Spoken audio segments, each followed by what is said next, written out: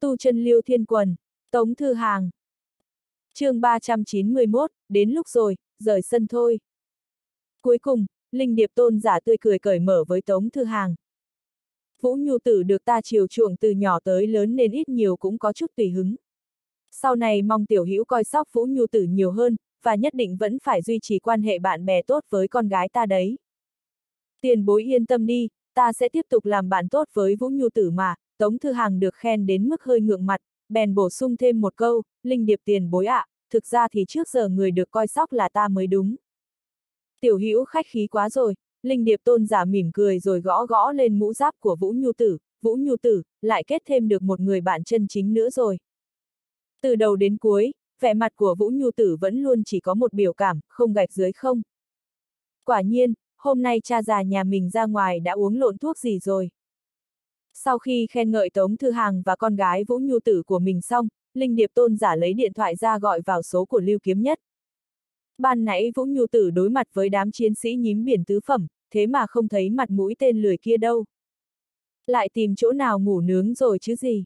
Quả nhiên mình không nên giao nhiệm vụ chăm sóc Vũ Nhu Tử cho tên lười chảy thây này làm mà. Sắc mặt Linh Điệp Tôn giả đen xì xì. Nếu hôm nay Lưu Kiếm Nhất không cho hắn một lời giải thích tử tế thì 5 năm tới đây thằng danh ấy đừng hòng được nhàn rỗi. Hắn sẽ khiến cho Lưu Kiếm Nhất bận rộn đến mức không kịp nhắm mắt thì thôi.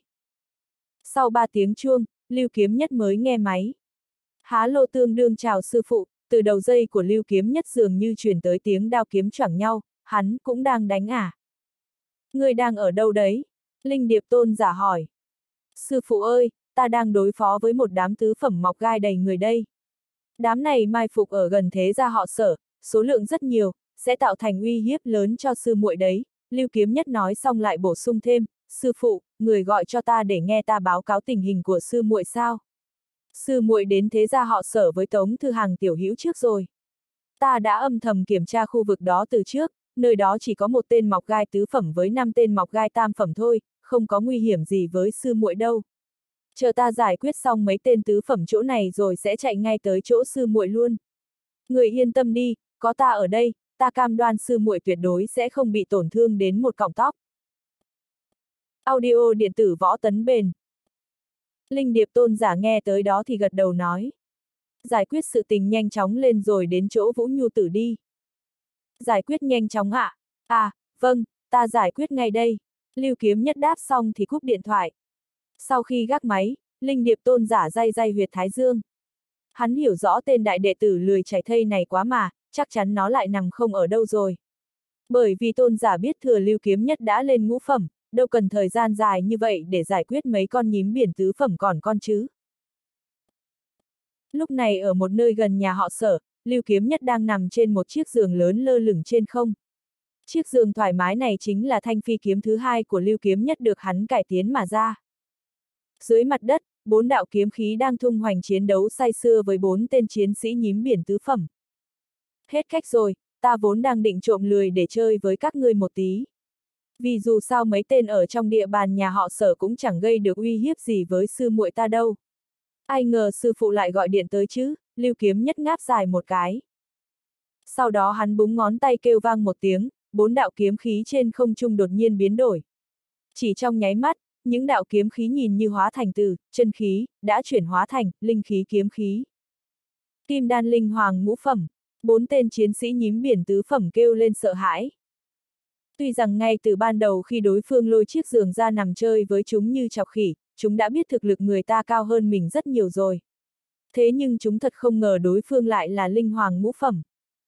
Này, tạm biệt nhé, lưu kiếm nhất mỉm cười. Bốn đạo kiếm quang lia xoẹt một cái, chém đứt sinh cơ của bốn tên chiến sĩ nhím biển. Máu tươi của chiến sĩ nhím biển vấy lên kiếm quang. Đồng thời, lưu kiếm nhất có liên hệ mật thiết với kiếm quang bỗng nhíu mày.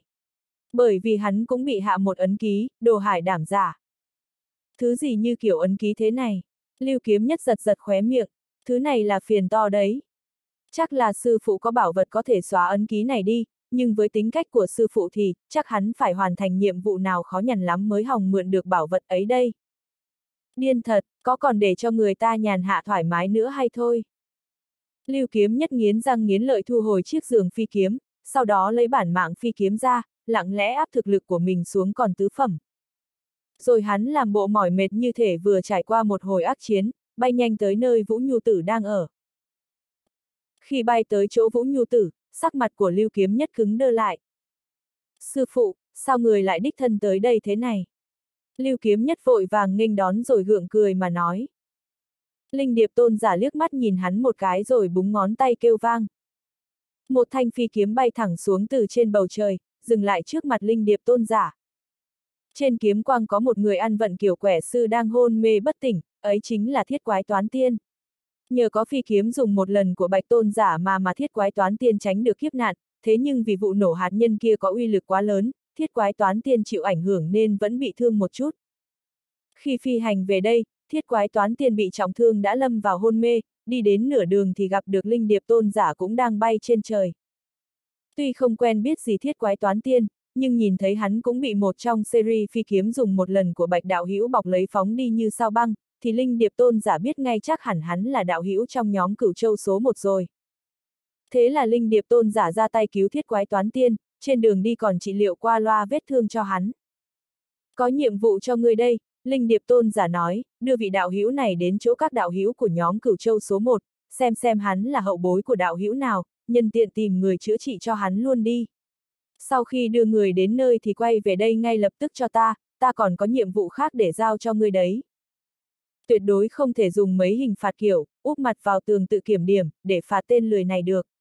Nếu phạt tên này úp mặt vào tường, hắn sẽ vui như mở cờ trong bụng cho mà xem, úp 8 năm hay úp 10 năm cũng không làm sao cả. Đối với tên lười này thì hình phạt lớn nhất chính là không ngừng giao nhiệm vụ cho hắn, khiến cho hắn không có thời gian để mà nghỉ ngơi. Lưu kiếm nhất run run khóe miệng, nhận lấy thiết quái toán tiên.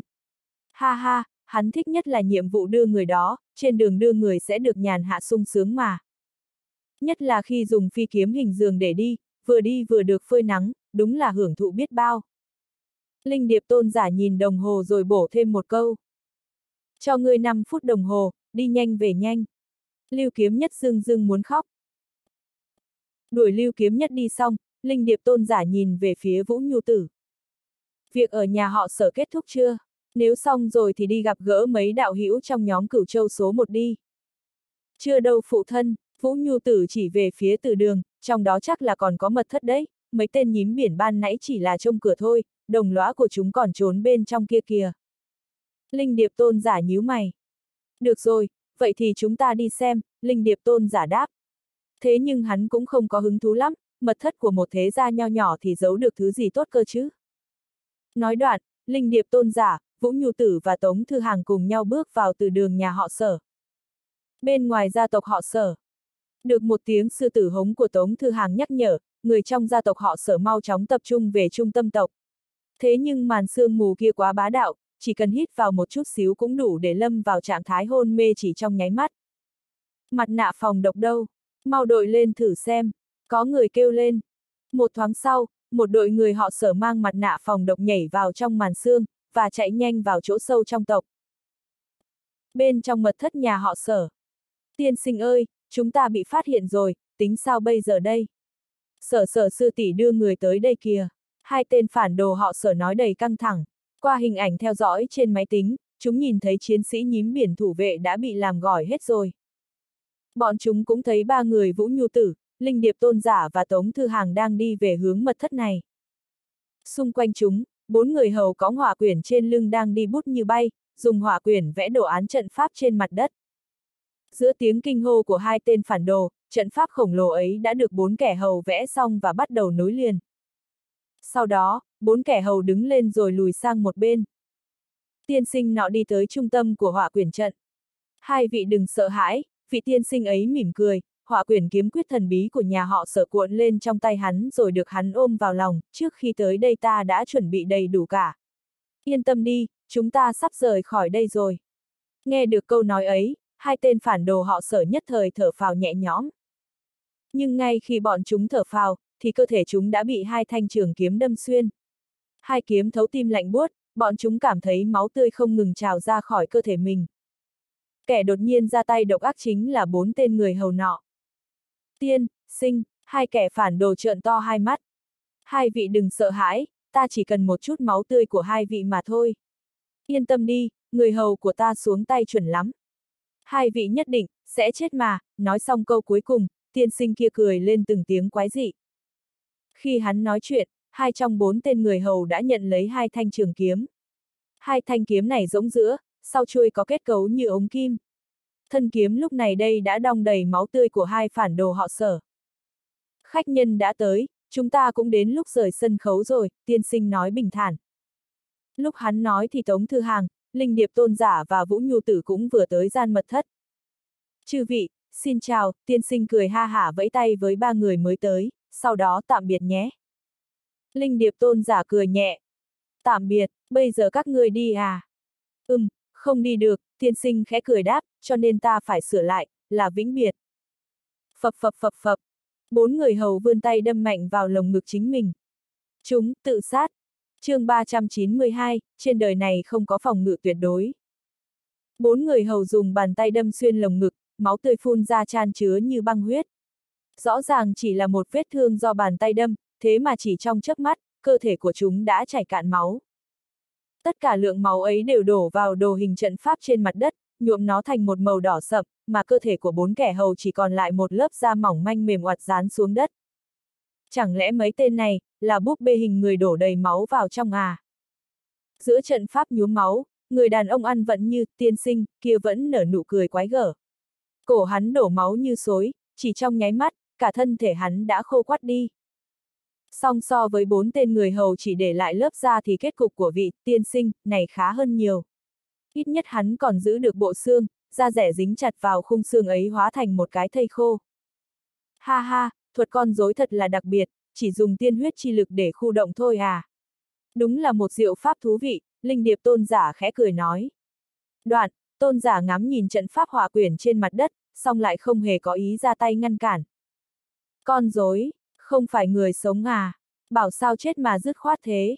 Tống Thư Hàng nói thầm, hắn nhìn về phía tiên sinh giữa trận pháp, trên tay kẻ đó có một cuốn hỏa quyển. Quả nhiên, mục tiêu của chúng chính là hỏa quyển kiếm quyết.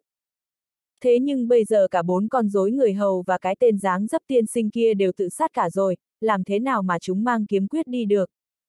Tống Thư Hàng lập tức nhìn vào trận pháp nhuộm máu dưới đất, chẳng lẽ chúng dùng trận pháp hỏa quyển quái dị này sao? Trận pháp hỏa quyển lúc này nhiễm đầy máu tanh, tàn mát ra sắc đỏ yêu dị, nó đã bị kích hoạt rồi. Tuy rằng không biết trận pháp này dùng để làm gì, nhưng có thể khẳng định một điều, nó chính là thủ đoạn của đám người, tiên sinh kia. Linh điệp tiền bối, bốn bước kiếm quyết đồ của nhà họ sở đang ở trong tay kẻ kia, tuyệt đối không thể để hắn mang đi. Tống thư hàng hô lên. Linh quỷ vốn dĩ yên tĩnh trong lồng ngực hắn bỗng dưng trở nên nóng bỏng hệt như trong cảnh mộng lần trước. Thình thịch, thình thịch, thình thịch. Trái tim hắn đập điên cuồng. Linh quỷ trong tâm khiếu muốn phá xác mà ra. Nó muốn đến gần bốn cuốn họa quyển ấy, trong bốn cuốn họa quyển chắc chắn có cất dấu bí mật gì đó liên quan tới tán tu lý thiên tố. Sờ nhẹ lên ngực mình, Tống Thư Hàng lập tức vận chuyển chân ngã minh tưởng kinh để ép bản thân phải chấn tĩnh lại. Sau đó, một tay hắn nắm chuôi đao bá toái, cả người bật lên phóng về phía trận đồ. Dù có thế nào cũng phải lấy lại kiếm quyết trước khi trận pháp phát động rồi tính tiếp. Nhưng khi Tống Thư Hàng đến gần trận pháp nhuộm máu kia thì dòng máu trên mặt đất lại cuộn lên thành sóng như có linh hồn. Sóng máu hóa thành tên nhọn che trời phủ đất, phóng về phía Tống Thư Hàng như vũ bão. Thuấn, Tống Thư Hàng quát khẽ một tiếng, nhấc tay lên cao, phóng ra năng lực thiên phú kim sắc tiểu thuẫn của linh quỷ. Đồng thời hắn rút bảo đao bá toái rồi đổ chân khí vào thân đao. Keng keng keng, máu tươi như biến thành thực thể, khi đánh vào tiểu thuẫn vàng kim phát ra tiếng kêu len keng. Sau khi Tống Thư Hàng tấn chức lên nhị phẩm thì tiểu thuẫn của linh quỷ cũng đã được cường hóa hơn nhiều. Thế mà dưới sự tấn công dồn dập của cơn mưa tên máu này, nó chỉ chống đỡ được một đợt rồi vụn vỡ. Hỏa diễm đao, Tống Thư Hàng quát to một tiếng, khẽ lật cổ tay, trong đầu minh tưởng lại phần thiên đao ý khi xích tiêu tử đạo trưởng thi triển hỏa diễm đao. Thân đao vừa chuyển, hỏa diễm hừng hực bùng lên, Tống Thư Hàng nắm chặt đao bằng hai tay rồi chém mạnh về phía trước. Hỏa diễm hóa thành ánh đao trăng khuyết kết hợp với phần thiên đao ý chém thẳng vào cơn mưa máu dập trời. ầm, um, máu tươi tiếp xúc với đao khí, bị đao khí đốt cháy bốc hơi lên, hỏa diễm đao mà xích tiêu tử tiền bối truyền thụ quả đúng là bá đạo đến cực điểm. Không dừng lại ở đó, sau khi đốt bốc hơi cơn mưa tên nọ, hỏa diễm đao còn xông thẳng vào trận pháp nhuộm máu, muốn phá tan trận đồ ấy ra. Bất kể trận đồ này có dụng ý gì, thì hủy diệt nó cũng là một việc làm đúng đắn. Thế nhưng khi đao khí của hỏa diễm đao đánh vào phạm vi trận đồ thì đột nhiên bị cắt ra bởi một lực lượng vô hình, biến thành vô số mảnh lửa nhỏ vụn.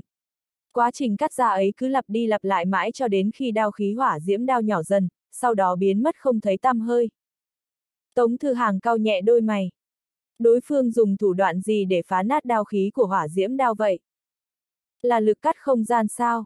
Vũ Nhu Tử đứng bên cạnh hỏi một cách nghi ngờ. Cô cảm ứng được xung quanh trận pháp nhiễm máu kia có một luồng không gian chi lực hỗn loạn. Tất cả những gì tiến vào trong phạm vi trận pháp đều sẽ bị không gian chi lực không có mắt cắt nát. Ừm, là không gian chi lực. Thư hàng tiểu hữu đừng nóng vội, nóng vội là không ăn được đậu hũ nóng đâu. Linh Điệp Tôn giả cười sang sảng, đoạn nói tiếp, đây là pháp thuật truyền tống không gian.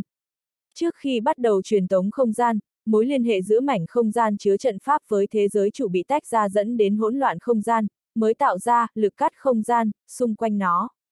Đây cũng là một tầng bảo vệ khi trận pháp truyền tống không gian khởi động. Nhưng, nói thật là không ngờ lại có thể nhìn thấy, năng lực không gian, ở đây, đúng là nằm ngoài dự liệu của ta đấy. Năng lực dạng không gian là lực lượng mà cấp bậc kiếp tiên cửu phẩm mới có thể nắm giữ được. Rõ ràng đối phương không phải là kiếp tiên cửu phẩm, thậm chí thực lực của hắn chỉ có cảnh giới tứ phẩm mà thôi, vậy thì hắn đã dùng, bảo vật, gì để thi triển bí pháp truyền tống không gian? Hay là hắn có, bí thuật, gì? Linh điệp tôn giả rất ngạc nhiên. Khi tôn giả nói chuyện, thì trong hốc mắt của tiên sinh, đã trở thành bộ da bọc xương ở giữa trận pháp đột nhiên lóe ra quang mang đỏ như máu. Dường như có một bảo vật gì đó trong cơ thể hắn đang hô ứng với trận pháp dưới mặt đất vậy. Tiên sinh, đã dựa vào chính bảo vật ấy để khởi động trận pháp không gian. Tiên sinh, thầy khô ngẩng đầu lên, phát ra tiếng cười quái dị. Khanh khạch, vị tiền bối này hiểu biết rộng thật đấy. Ha ha, Linh Điệp Tôn giả bật cười, không giả chết nữa à. Vì, đấu chuyển tinh di trận, đã khởi động rồi, bây giờ ta đang ở vào trạng thái, phòng ngự tuyệt đối, khi trận pháp khởi động, cho nên không cần phải giả chết nữa, tiên sinh mỉm cười mà nói, chư vị và các đệ tử sở ra mới tới à, lần này chúng ta phải tạm biệt nhau thật rồi. Hắn vừa nói xong, thì có sáu đệ tử họ sở đeo mặt nạ phòng độc nhảy vào trong mật thất. Tặc tử, dám lấy trộm kiếm quyết của họ sở ta. Có đệ tử sở ra gầm lên một tiếng vừa kích động vừa phẫn nộ, rồi định vọt vào trong trận pháp. Tống thư hàng vộ vàng thò tay kéo giật đệ tử nọ lại. Không được xông vào. Xung quanh, đấu chuyển tinh di trận, là một mảnh không gian hỗn loạn có thể cắt cả hỏa diễm đao khí thành bột phấn. Một khi đệ tử sở ra này nhảy vào trong thì chắc chắn sẽ bị cắt thành một đống thịt nát cho xem. Sở sở sư tỷ, đệ tử sở ra bị ngăn lại nhìn Tống Thư Hàng với vẻ nghi hoặc. Đây là trận pháp không gian, quanh trận có lực cắt không gian cường đại bao bọc. Các ngươi xông lên cũng chỉ có thể chịu chết mà thôi, Tống Thư Hàng giải thích vội vàng. Vậy phải làm sao bây giờ? Chẳng lẽ cứ trơ mắt nhìn đám giặc kia cướp đi kiếm quyết của họ sở ta sao? Mấy đệ tử sở ra đeo mặt nạ phòng độc nói trong uất nghẹn. Đừng nóng vội, nóng vội là không ăn được đậu hũ nóng đâu, Tống Thư Hàng làm bộ thần bí, đồng thời liếc nhìn Linh Điệp tôn giả đứng khoanh tay sau lưng mình. Thấy tôn giả bình tĩnh như thế, hắn yên tâm hẳn. Trong, đấu chuyển tinh di trận, tiên sinh kia vẫn cười quái gở. Thiên tài sở ra, sở cô nương, người lý trí lắm. Bây giờ bất luận là bao nhiêu người xông vào cũng chỉ chịu chết mà thôi. Chẳng trách ngươi lại có thể lĩnh ngộ được bộ kiếm quyết này. Ta ưng ngươi lắm đấy. Nếu có cơ hội, lúc nào chúng ta gặp lại nhau, ta sẽ ban cho ngươi vinh quang được trở thành một thành viên trong hậu cung của ta nhé. Tiên sinh ôm họa quyển trong lòng, rồi quăng ánh mắt tán thưởng cho Tống Thư Hàng. Tống Thư Hàng run cả người. Gạch nối. Vũ Nhu tử phồng má nhịn cười đến là khốn khổ. Ngày sau chúng ta sẽ gặp lại nhau, sở sở cô nương ạ. À. Còn bây giờ thì tạm biệt chư vị. Trước khi đi, cho phép ta tặng mọi người một lễ vật nhé, tiên sinh ra bọc xương búng ngón tay. Một tiếng, tách, vang lên. Từ trong những góc khuất của mật thất, bỗng có những vật hình cầu nho nhỏ phát ra nổ mạnh. Một luồng bụi rơi rào rào xuống mọi người. Linh điệp tôn giả vung tay lên một cái nhẹ nhàng, một cơn gió nhẹ cuốn lên thổi bay tất cả đám bụi đó đi. Ha ha, thực lực của vị tiền bối này cao cường thật. Xem ra lễ vật này không có hiệu quả rồi, tiếc quá tiếc quá. Thực ra đây chỉ là món quà ta tặng mọi người để đùa vui thôi, không phải cái gì lấy mạng người ta đâu mà, tiên sinh ra bọc xương vừa nói chuyện, thân thể hắn vừa dần dần chìm vào trong, đấu chuyển tinh di trận. Như thể hòa tan vào với đất. Không gian truyền tống chính thức bắt đầu. Tiên sinh vẫy tay với Tống Thư Hàng đầy đắc ý. Đúng lúc này thì Linh Điệp tôn giả nghênh ngang đi về phía, đấu chuyển tinh di trận. Tiên sinh nhìn Linh Điệp tôn giả với ánh mắt khó hiểu, vị tiền bối tu sĩ cường đại này muốn làm gì đây? Hắn biết tiền bối này cực mạnh, thế nhưng hắn cũng tin tưởng rằng, sau khi đấu chuyển tinh di trận, khởi động thì lực sát thương của lớp, không gian hỗn loạn, quanh nó chính là tuyệt đối. Không một ai có thể phá giải lực cắt không gian của không gian hỗn loạn kia, trừ khi phá giải trận pháp, đấu chuyển tinh di trước khi nó khởi động. Bây giờ truyền tống đã bắt đầu rồi, không còn ai có thể ngăn cản hắn rời đi được nữa. Ngươi có biết không, Linh Điệp Tôn giả mỉm cười mà nói, trên thế gian này không có cái gì gọi là, phòng ngự tuyệt đối cả. Bất cứ một cái gì được mệnh danh là, phòng ngự tuyệt đối, chẳng qua là vì lực lượng đánh vào nó chưa đủ mạnh để phá vỡ nó, hoặc là kỹ xảo đánh nó không đúng mà thôi. Ha ha, về lý thuyết thì tiền bối nói không sai, tiên sinh cười ha hả. Đột nhiên, ánh đỏ trong mắt hắn rụt lại. Trời má, hắn đang nhìn thấy cái gì thế này? Hắn nhìn thấy vị tu sĩ tiền bối cường đại kia vươn tay ra, đâm thẳng vào, đấu chuyển tinh di trận, một cách cực kỳ vững vàng. Lực cắt của không gian hỗn loạn mệnh danh, phòng ngự tuyệt đối, ấy thế mà chẳng thể làm tổn thương được một chút mảy may nào trên cánh tay của tu sĩ cường đại nọ. Không những thế, ngay cả góc áo đối phương cũng chẳng hề rách ra. chương 393, lục thảo thơm hơn là vì ngươi đấy. Ha ha, không thể xem là nắm giữ. Chẳng qua gần đây ta trùng hợp nghiên cứu một chút về, lực lượng không gian, mà thôi, Linh Điệp Tôn giả mỉm cười nói, chẳng phải ban nãy người nói lão phu là tiền bối, hiểu biết rộng, sao? Cho nên ta không thể để cho ngươi thất vọng được, phải không nào? Vừa nói chuyện, Linh Điệp Tôn giả vừa dùng một tay nắm lấy họa quyển kiếm quyết trong tay, tiên sinh, nọ. Giữa tiếng gần bất cam của tiên sinh, hắn chậm rãi kéo họa quyển ra khỏi, đấu chuyển tinh di trận. Chết tiệt, chết tiệt, kiếm quyết là của ta. Nó là của ta, của ta. Tiên sinh điên cuồng bắt lấy hỏa quyển kiếm quyết. Kiếm quyết này là một phần cực kỳ quan trọng trong kế hoạch tương lai của hắn, tuyệt đối không thể để cho người khác cướp đi được. Tiên sinh dốc hết toàn lực muốn giật kiếm quyết về. Thế nhưng lực lượng của hắn làm sao có thể sánh với một vị tôn giả lão luyện cường đại. Tất cả cố gắng dẫy dụa của hắn chỉ là dã tràng xe cát mà thôi. Cuối cùng, hỏa quyền kiếm quyết vẫn bị linh điệp tôn giả kéo ra khỏi, đấu chuyển tinh di trận. Không chỉ có kiếm quyết mà ngay cả đôi tay của tiên sinh cũng bị giật ra theo. Hai tay của hắn bị lực cắt không gian bao quanh, đấu chuyển tinh di trận, cắt đứt khi tranh giành hỏa quyền kiếm quyết, sau đó bị tôn giả lôi ra khỏi trận pháp không gian. Thế nhưng đôi tay này lại không phải tay của con người mà có kết cấu y như máy móc, là cánh tay pháp bảo sao. Linh Điệp tôn giả tiện tay ném cả hai cánh tay và họa quyển về phía Tống Thư Hàng. Tống Thư Hàng cầm chặt họa quyển của tán tu Lý Thiên Tố rồi nhanh chóng mở ra xem thật giả thế nào. ASSSSSS, tiên sinh trong trận pháp gầm rú dữ dội như dã thú, thân thể nhanh chóng chìm xuống chỉ còn lại nửa cái đầu thò lên. Khi Tống Thư Hàng mở họa quyển ra thì phát hiện trong tay mình chỉ có một bức họa quyển. Hắn lập tức hô lên. Linh điệp tiền bối, chỉ có một bức họa quyển, còn ba bức nữa vẫn ở trên người hắn. Xong lúc này thì cái đầu của tiên sinh cũng đã biến mất trong, đấu chuyển tinh di trận, rồi. Sau khi thân mình hắn lặn hết, trận pháp nhiễm máu trên mặt đất cũng bốc cháy tức thì và hóa ra cho.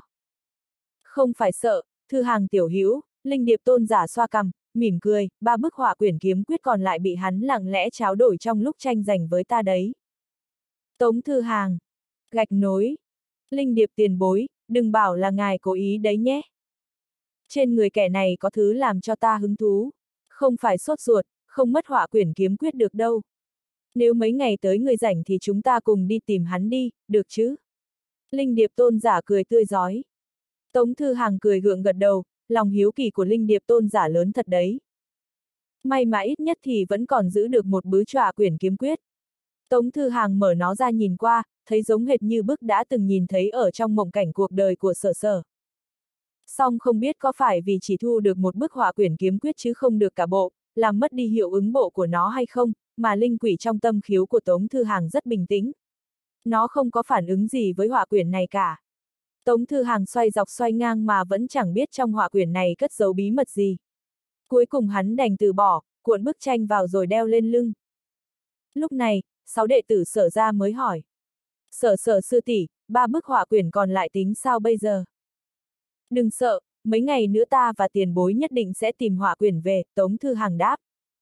Có lẽ vì vẻ ngoài, sở sở cô nương, của hắn bây giờ có danh vọng rất cao trong gia tộc họ sở, cho nên sau khi hắn cam đoan xong thì các đệ tử họ sở đều bình tĩnh lại. Linh điệp tôn giả nhìn mặt đất phương vãi vết máu, đoạn nói. Đi, chúng ta rời khỏi đây thôi. Sau đó tôn giả quay người ra khỏi mật thất. Tống Thư Hàng và Vũ Nhu Tử theo sát phía sau. Cuối cùng là sáu đệ tử sở ra. Trước khi rời đi, sáu đệ tử nọ còn mang theo thi thể của hai tên phản đồ sở ra bị giết. Bốn tấm da của đám người hầu thì bị để lại trong mật thất để giữ nguyên hiện trường. Sau khi ra ngoài mới thấy có rất nhiều đệ tử sở ra đeo mặt nạ phòng độc đang tập trung lại phía mật thất. Linh Điệp tôn giả nhíu mày, hắn không muốn bị nhiều đệ tử sở ra vây xem như vậy. Thư hàng tiểu hữu ta đi gặp các đạo hữu trong nhóm cửu châu số một trước đây. Tiểu hữu ứng phó với đám đệ tử họ sở này nhé, Linh Điệp tôn giả cười nói với Tống Thư Hàng. Dứt lời, không đợi Tống Thư Hàng đáp lại thì Linh Điệp tôn giả đã biến mất tâm, chẳng còn thấy bóng dáng đâu nữa. Vũ Nhu Tử cũng biến mất theo luôn, cô còn chưa kịp phản ứng gì thì đã bị cha mình túm đi mất rồi. Chỉ còn trơ lại một mình Tống Thư Hàng đứng lẻ loi ở cửa từ đường nhà họ sở. Tống Thư Hàng nhìn đám đệ tử sở ra đông đảo mà giật giật khóe miệng. Sáu đệ tử sở ra đeo mặt nạ phòng độc nâng hai thi thể từ mật thất lên cũng ra khỏi từ đường. Sở sở sư tỷ, tiền bối và cô nương ban nãy đâu rồi? Họ có việc nên đi trước rồi, Tống Thư Hàng đáp. Một đám người nhà họ sở chạy tới từ phía trước, nhao nhao hỏi thăm Tống Thư Hàng. Sở sở sư tỷ, trong mật thất đã xảy ra chuyện gì vậy? Sở sở sư tỷ, kẻ xâm nhập đâu rồi? Sư tỷ, kẻ địch đâu? Chúng ta phải giết chết tất cả đám người dám đến gây sự ở nhà họ sở. Sở sở sư tỷ, mấy thứ người mọc đầy gai trên mặt đất này là kẻ địch à? Cả đám mồm năm miệng mười gọi, sở sở sư tỷ, làm cho Tống Thư Hàng cảm thấy gan ruột đau quá. Hắn giơ tay ngăn giữa không trung ý bảo họ trật tự. Trật tự nào, như mọi người đã thấy, phần lớn kẻ xâm nhập đều đã chết, có một tên đào tẩu mất rồi. Việc này tạm thời chấm dứt ở đây, còn lại chờ tộc lão tới rồi xử lý. Ở nhà họ sở, sở sở cô nương có danh vọng rất cao, tất cả đệ tử sở ra đều im lặng hết. Sau đó, phái một đệ tử nhanh nhẹn chạy tới đoạn tiên đài mời mấy vị tiền bối nhà họ sở về đây, nghĩ cách xua tan sương mù trong tộc đi. Các đệ tử đeo mặt nạ phòng độc tập hợp thành một đội cứu viện, đưa đồng bạn đang hôn mê ở sâu trong tộc ra ngoài. Nếu có đồng tộc nào bị thương thì đưa họ ra đây chữa trị. Phong tỏa từ đường mật thất, không được để bất cứ kẻ nào bước vào. Duy trì cảnh giới, phòng ngừa kẻ xấu bụng nhân lúc cháy nhà đi hôi của. Tống Thư Hàng lấy thân phận, sở sở, hạ liền một loạt mệnh lệnh. Trừ những điều này, hắn cũng chưa nghĩ ra được việc gì khác phải làm. Trung quy hắn cũng chỉ là một sinh viên mới trở thành tu sĩ được hai tháng mà thôi, không thể trông cậy hắn chống đỡ toàn bộ cục diện như một tộc trưởng chân chính được. Trên thực tế thì Tống Thư Hàng đã làm tốt lắm rồi. Sau mấy mệnh lệnh của hắn, những người còn ở lại trông coi nhà họ sở bắt đầu ai vào việc nấy, bận rộn không ngừng. Sau khi người trong tộc họ sở phân tán nhau ra làm việc, sáu đệ tử cùng vào mật thất mới nhỏ giọng hỏi Tống Thư Hàng. Sở sở sư tỷ, sao hai đệ tử sở ra này cũng ở trong mật thất vậy? Lúc ta vào mật thất thì họ đã bị giết hại rồi, Tống Thư Hàng lắc đầu mà nói. Sáu đệ tử đeo mặt nạ phòng độc nghiến răng gần lên. Phương giặc khốn nạn. Sư tỷ, bọn ta đưa thi thể hai vị sư huynh đi an trí trước đã, trong giọng nói của sáu đệ tử đeo mặt nạ phòng độc đong đầy bi thương. Tống Thư Hàng gật đầu. Cho dù là tu sĩ, thì đôi khi sinh mệnh vẫn vô cùng yếu ớt. Đang lúc sáu đệ tử đeo mặt nạ phòng độc chuẩn bị mang thi thể đi, thì đột nhiên một người trong số đó dừng khựng lại, rồi bắt đầu vươn tay gãi lấy gãi để lên thân thể mình. Lạ thật, sao mà ngứa thế? Đệ tử sở ra nọ nói. Câu nói của hắn như một ngòi nổ, năm đệ tử sở ra còn lại cũng bắt đầu cào lên người mình không ngừng. Ngứa quá, ngứa quá. Tống Thư Hàng. Sao vậy? Ngứa quá, sáu đệ tử đều xé rách quần áo của mình rồi cố sức cào cấu lên người. Trong đó còn có một đệ tử xé tan chiếc áo khoác dày, để lộ một mảng da thịt trắng nõn, cô ấy là nữ tu. Chúng độc à, Tống Thư Hàng lập tức nhớ tới đám bụi phun ra trong mật thất vào phút cuối. Sau đó, hắn lại nhìn sang hai thi thể kia. Thì ra là thế, tuy đám bụi kia đã bị linh điệp tôn giả thổi bay tan tác, song vẫn còn một chút dính lại bên trong mật thất. Chắc là không ít thứ bụi ấy đã dây lên hai thi thể này. Thế là mấy đệ tử sở ra nâng thi thể đi đã trúng chiêu. Độc phấn thật là bá đạo. Tống Thư Hàng nói. Các ngươi thử vận dụng khí huyết chi lực xem có đẩy được độc tố ra ngoài không. Sáu đệ tử sở ra này đều là tu sĩ cảnh giới nhất phẩm. Nghe Tống Thư Hàng nói vậy, họ lập tức kích hoạt lực lượng ở khiếu huyệt trong cơ thể, muốn làm giảm bớt nỗi đau thể xác. Ai ngờ chẳng hề có chút hiệu quả nào. Vận chuyển khí huyết chi lực chỉ càng làm cho cơ thể họ thêm đau đớn mà thôi. Nhịn xuống, đừng cào cấu nữa. Để thi thể sang một bên đi, đừng cho ai tiếp xúc với các thi thể này nữa, Tống Thư Hàng hô lên. Đệ tử sở ra lập tức hiểu ra, bèn vội vàng đặt thi thể người tộc mình sang bên cạnh. Các ngươi tản ra, đừng hoảng loạn, Tống Thư Hàng nói với sáu người họ sở. Nói xong, hắn cẩn thận bước tới, đến gần một đệ tử sở ra. Bây giờ chỉ cần mấy người này run run một cái thôi thì cũng đủ để truyền bụi độc sang người hắn rồi. Sau khi tiến lên một bước, Tống Thư Hàng đến trước mặt một đệ tử, vươn một ngón tay đặt hờ lên cổ tay hắn, tránh để ra thì tiếp xúc trực tiếp với nhau. Thế rồi, hắn vận chuyển chân khí trong đan điền, đưa vào cơ thể đệ tử này một cách thận trọng.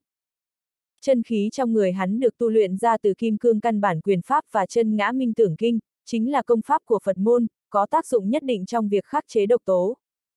Nhưng đây là lần đầu tiên hắn đưa chân khí vào trong cơ thể một tu sĩ khác, cho nên vẫn còn lạ lẫm lắm.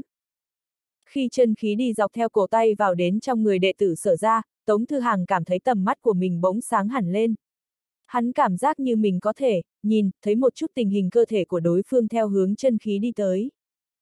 Đây là một cảm giác thần diệu vô cùng, trong lòng Tống Thư Hàng bỗng lóe lên một tia minh ngộ. Chân khí của hắn vận chuyển một vòng trong cơ thể của đệ tử nọ. Tuy rằng độc tố không bị bài trừ nhưng vẫn bị chân khí khắc chế, làm cho nỗi đau của đệ tử ấy thuyên giảm hẳn đi. Có tác dụng, thế là tốt rồi.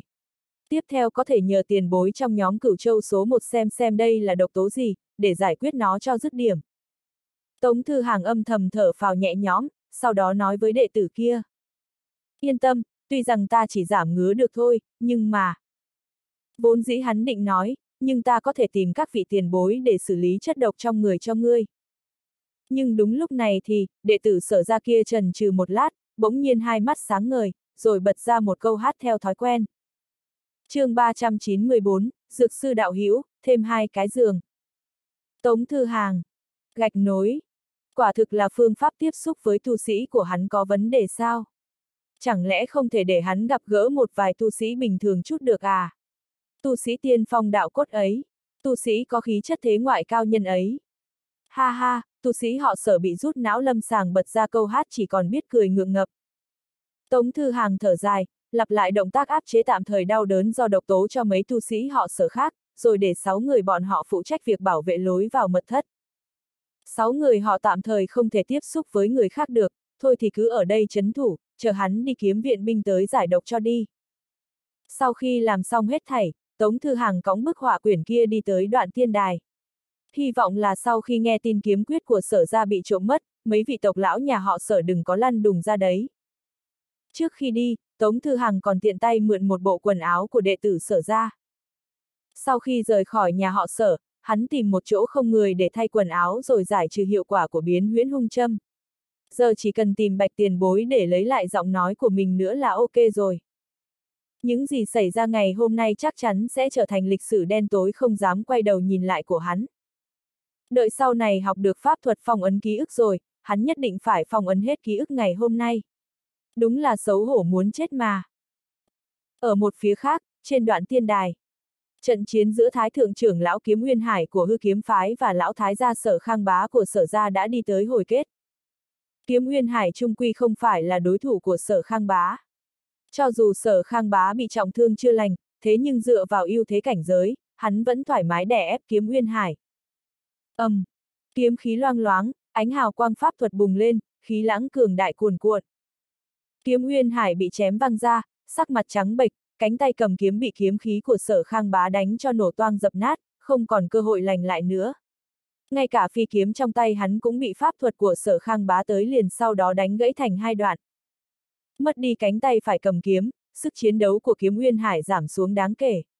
Hắn thực sự trở thành tu sĩ chỉ đứng hạng chót trong cảnh giới tứ phẩm. Sở khang bá trầm giọng quát. Ngươi thua rồi. Kiếm Nguyên Hải ho sòng sọc, hộc ra một ngụm máu tươi. Không chỉ mất đi cánh tay phải mà hắn còn bị nội thương nghiêm trọng, nếu không có linh đan rượu dược cứu trợ thì rất khó mà sống qua được mùa đông năm nay. Ta thua, kiếm Nguyên Hải thở dài một tiếng nặng nề. Thọ nguyên của hắn vốn chẳng còn nhiều, sau khi thốt ra chữ thua, kia thì trông lại càng già nua tiểu tụy, dường như bất cứ lúc nào cũng có thể chết đi. Sắc mặt của các đệ tử hư kiếm phái trở nên rất khó coi. Mà DTSG thì hoan hô vang dội, ra sức gào thét, để phát tiết hết nỗi vui sướng trong lòng. Người hộ đài đoạn tiên đài bồng sinh hải của trường sinh kiếm tông hô vang tuyên bố. Trận thứ ba đoạn tiên đài, sở ra thắng. Rõ ràng cấp bậc của trận chiến đoạn tiên đài này không cao, thế mà hai vị linh hoàng của trường sinh kiếm tông chủ trì xong lại cảm thấy mệt dã rời hết cả thể xác lẫn tinh thần. May mà trường sinh kiếm tông phái hai vị kim đan linh hoàng đến chủ trì trận đánh này, chứ nếu phái hai tu sĩ tứ phẩm đến đây thì đúng là chẳng làm sao mà kiểm soát được tình hình. Ai mà ngờ sở ra đột nhiên lại mọc ra một lão tổ tông kim đan linh hoàng ngũ phẩm cơ chứ. Càng chẳng ai ngờ là họ lại mời được bao nhiêu tu sĩ cấp cao đến để chấn tràng. Sau khi tuyên bố trận chiến đoạn tiên đài chấm dứt, cuối cùng nhiệm vụ của hai người hộ đài cũng kết thúc.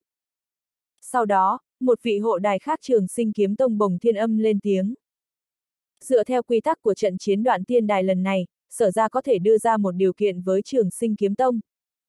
Nghe câu nói ấy, kiếm nguyên hải sầu não khó mà tả được. Vốn dĩ hắn định đánh thắng trận chiến đoạn tiên đài rồi bắt sở ra phải giao kiếm quyết ra. Nào ngờ hư kiếm phái lại thua, và thua thê thảm đến thế. Với tính cách của sở ra, phỏng chừng sẽ bắt hư kiếm phái phải chuyển đi khỏi khu vực này. Sau đó sở ra sẽ chiếm lấy tông môn của hư kiếm phái, cướp lấy linh địa tu luyện của họ mất thôi.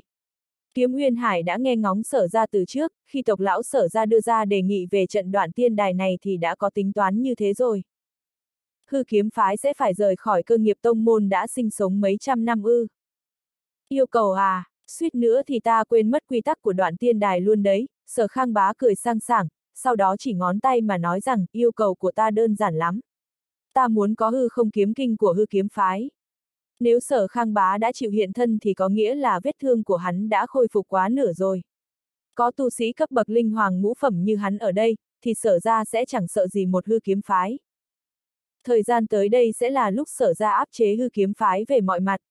Đến lúc đó, nếu hư kiếm phái thức thời mà chủ động rời bỏ tông môn thì thôi, nếu họ không biết thời biết thế thì sở khang bá cũng sẽ không khách khí với bọn họ. Năm xưa hư kiếm phái đã làm những gì với sở ra, ngày nay sở ra sẽ trả lại cho bọn họ gấp 10, gấp trăm lần. Sở ra không phải là Phật môn thế gia, không xem trọng nhẫn nại và tha thứ. Nghe thấy điều kiện ấy thì kiếm nguyên hải sửng sốt sững ra. Hư không kiếm kinh chính là công pháp chấn tông của hư kiếm phái. Tuy rằng công pháp ấy phẩm giai không cao, dù tu luyện tới cực hạn cũng chỉ đạt đến cảnh giới thiên tiên tứ phẩm, thế nhưng lực công kích của nó thì thực sự không tồi. Nếu chỉ luận về chiêu thức, thì nó có thể đạt tới hàng trung đẳng so với những kiếm thuật cùng cấp bậc đấy. Không thể được, kiếm nguyên hải hô lớn theo bản năng, công pháp chấn tông của hư kiếm phái bọn họ, há lại có thể giao cho người khác được hay sao? Nếu như hư không kiếm kinh bị truyền ra ngoài rồi, hư kiếm phái còn có thể gọi là hư kiếm phái được nữa sao? Đến lúc đó có khi phải đổi tên thành, hư kiếm phái số 2 ấy chứ. Ha ha, sở khang bá cười sang sảng, rồi không để ý đến kiếm nguyên hải nữa, hắn quay sang nói với người hộ đài, ta đã đề xuất yêu cầu rồi đấy, sau này phải nhờ các vị hộ đài chủ trì công bằng cho sở ra chúng ta thôi. Hai người hộ đài yên lặng gật đầu. Sau khi trở về tông môn, bọn ta sẽ báo cáo đúng như sự thật. Trong vòng một tuần, bọn ta cam đoan hư không kiếm kinh sẽ được giao tới tay sở ra. Hai vị đạo hữu công chính vô tư, sở mỗ bội phục, sở khang bá ôm quyền nói. Hắn hoàn toàn coi nhẹ sự phản kháng của kiếm nguyên hải. Nếu như lúc này phản kháng mà có tác dụng thì còn cần người hộ đài để làm gì? Làm theo chức trách mà thôi, sở huynh khách khí quá rồi, trường sinh kiếm tông bồng sinh hải mỉm cười, rồi cũng ôm quyền hành lễ với sở khang bá, vậy thì trận chiến đoạn tiên đài chấm dứt ở đây, nhiệm vụ của hai sư huynh đệ chúng ta cũng đã hoàn thành. Bây giờ chúng ta phải trở về tông môn phục mệnh, sở huynh, xin cáo tự ở đây. Sau đó, hai vị linh hoàng của trường sinh kiếm tông lại tới trước trận doanh của sở ra để chào từ biệt từng vị đạo hữu trong nhóm cửu châu số một đang ngồi đó. Bởi vì bao nhiêu vị tai to mặt lớn đều ngồi ở bên đó cả mà. Từ biệt xong, hai vị linh hoàng của trường sinh kiếm tông ngự kiếm bay lên, biến mất trên trời cao bát ngát. Đến đây, trận chiến đoạn tiên đài đã chấm dứt hoàn toàn. Tiếng hoan hô của người sở ra càng thêm vang dội. Hư kiếm phái thì ngược lại, tất cả mọi người, kể cả thái thượng trưởng lão kiếm Nguyên Hải đều trắng bệch sắc mặt. Ai nấy tiêu nghỉu cúp đuôi mà đi chẳng khác nào chó nhà có tang. Chỉ có trưởng giáo hư kiếm phái biến thành đầu heo là nhìn lại sở ra với ánh mắt đầy oán hận. Hắn siết chặt lấy điện thoại, trên đó có một tin nhắn mà lúc trước tiên sinh gửi tới. Tin nhắn chỉ có bốn chữ, kế hoạch thành công. Đám chết tiệt sở ra, cứ vui vẻ cho đã đi. Chờ khi trở lại gia tộc, biết được kiếm quyết đã bị trộm rồi.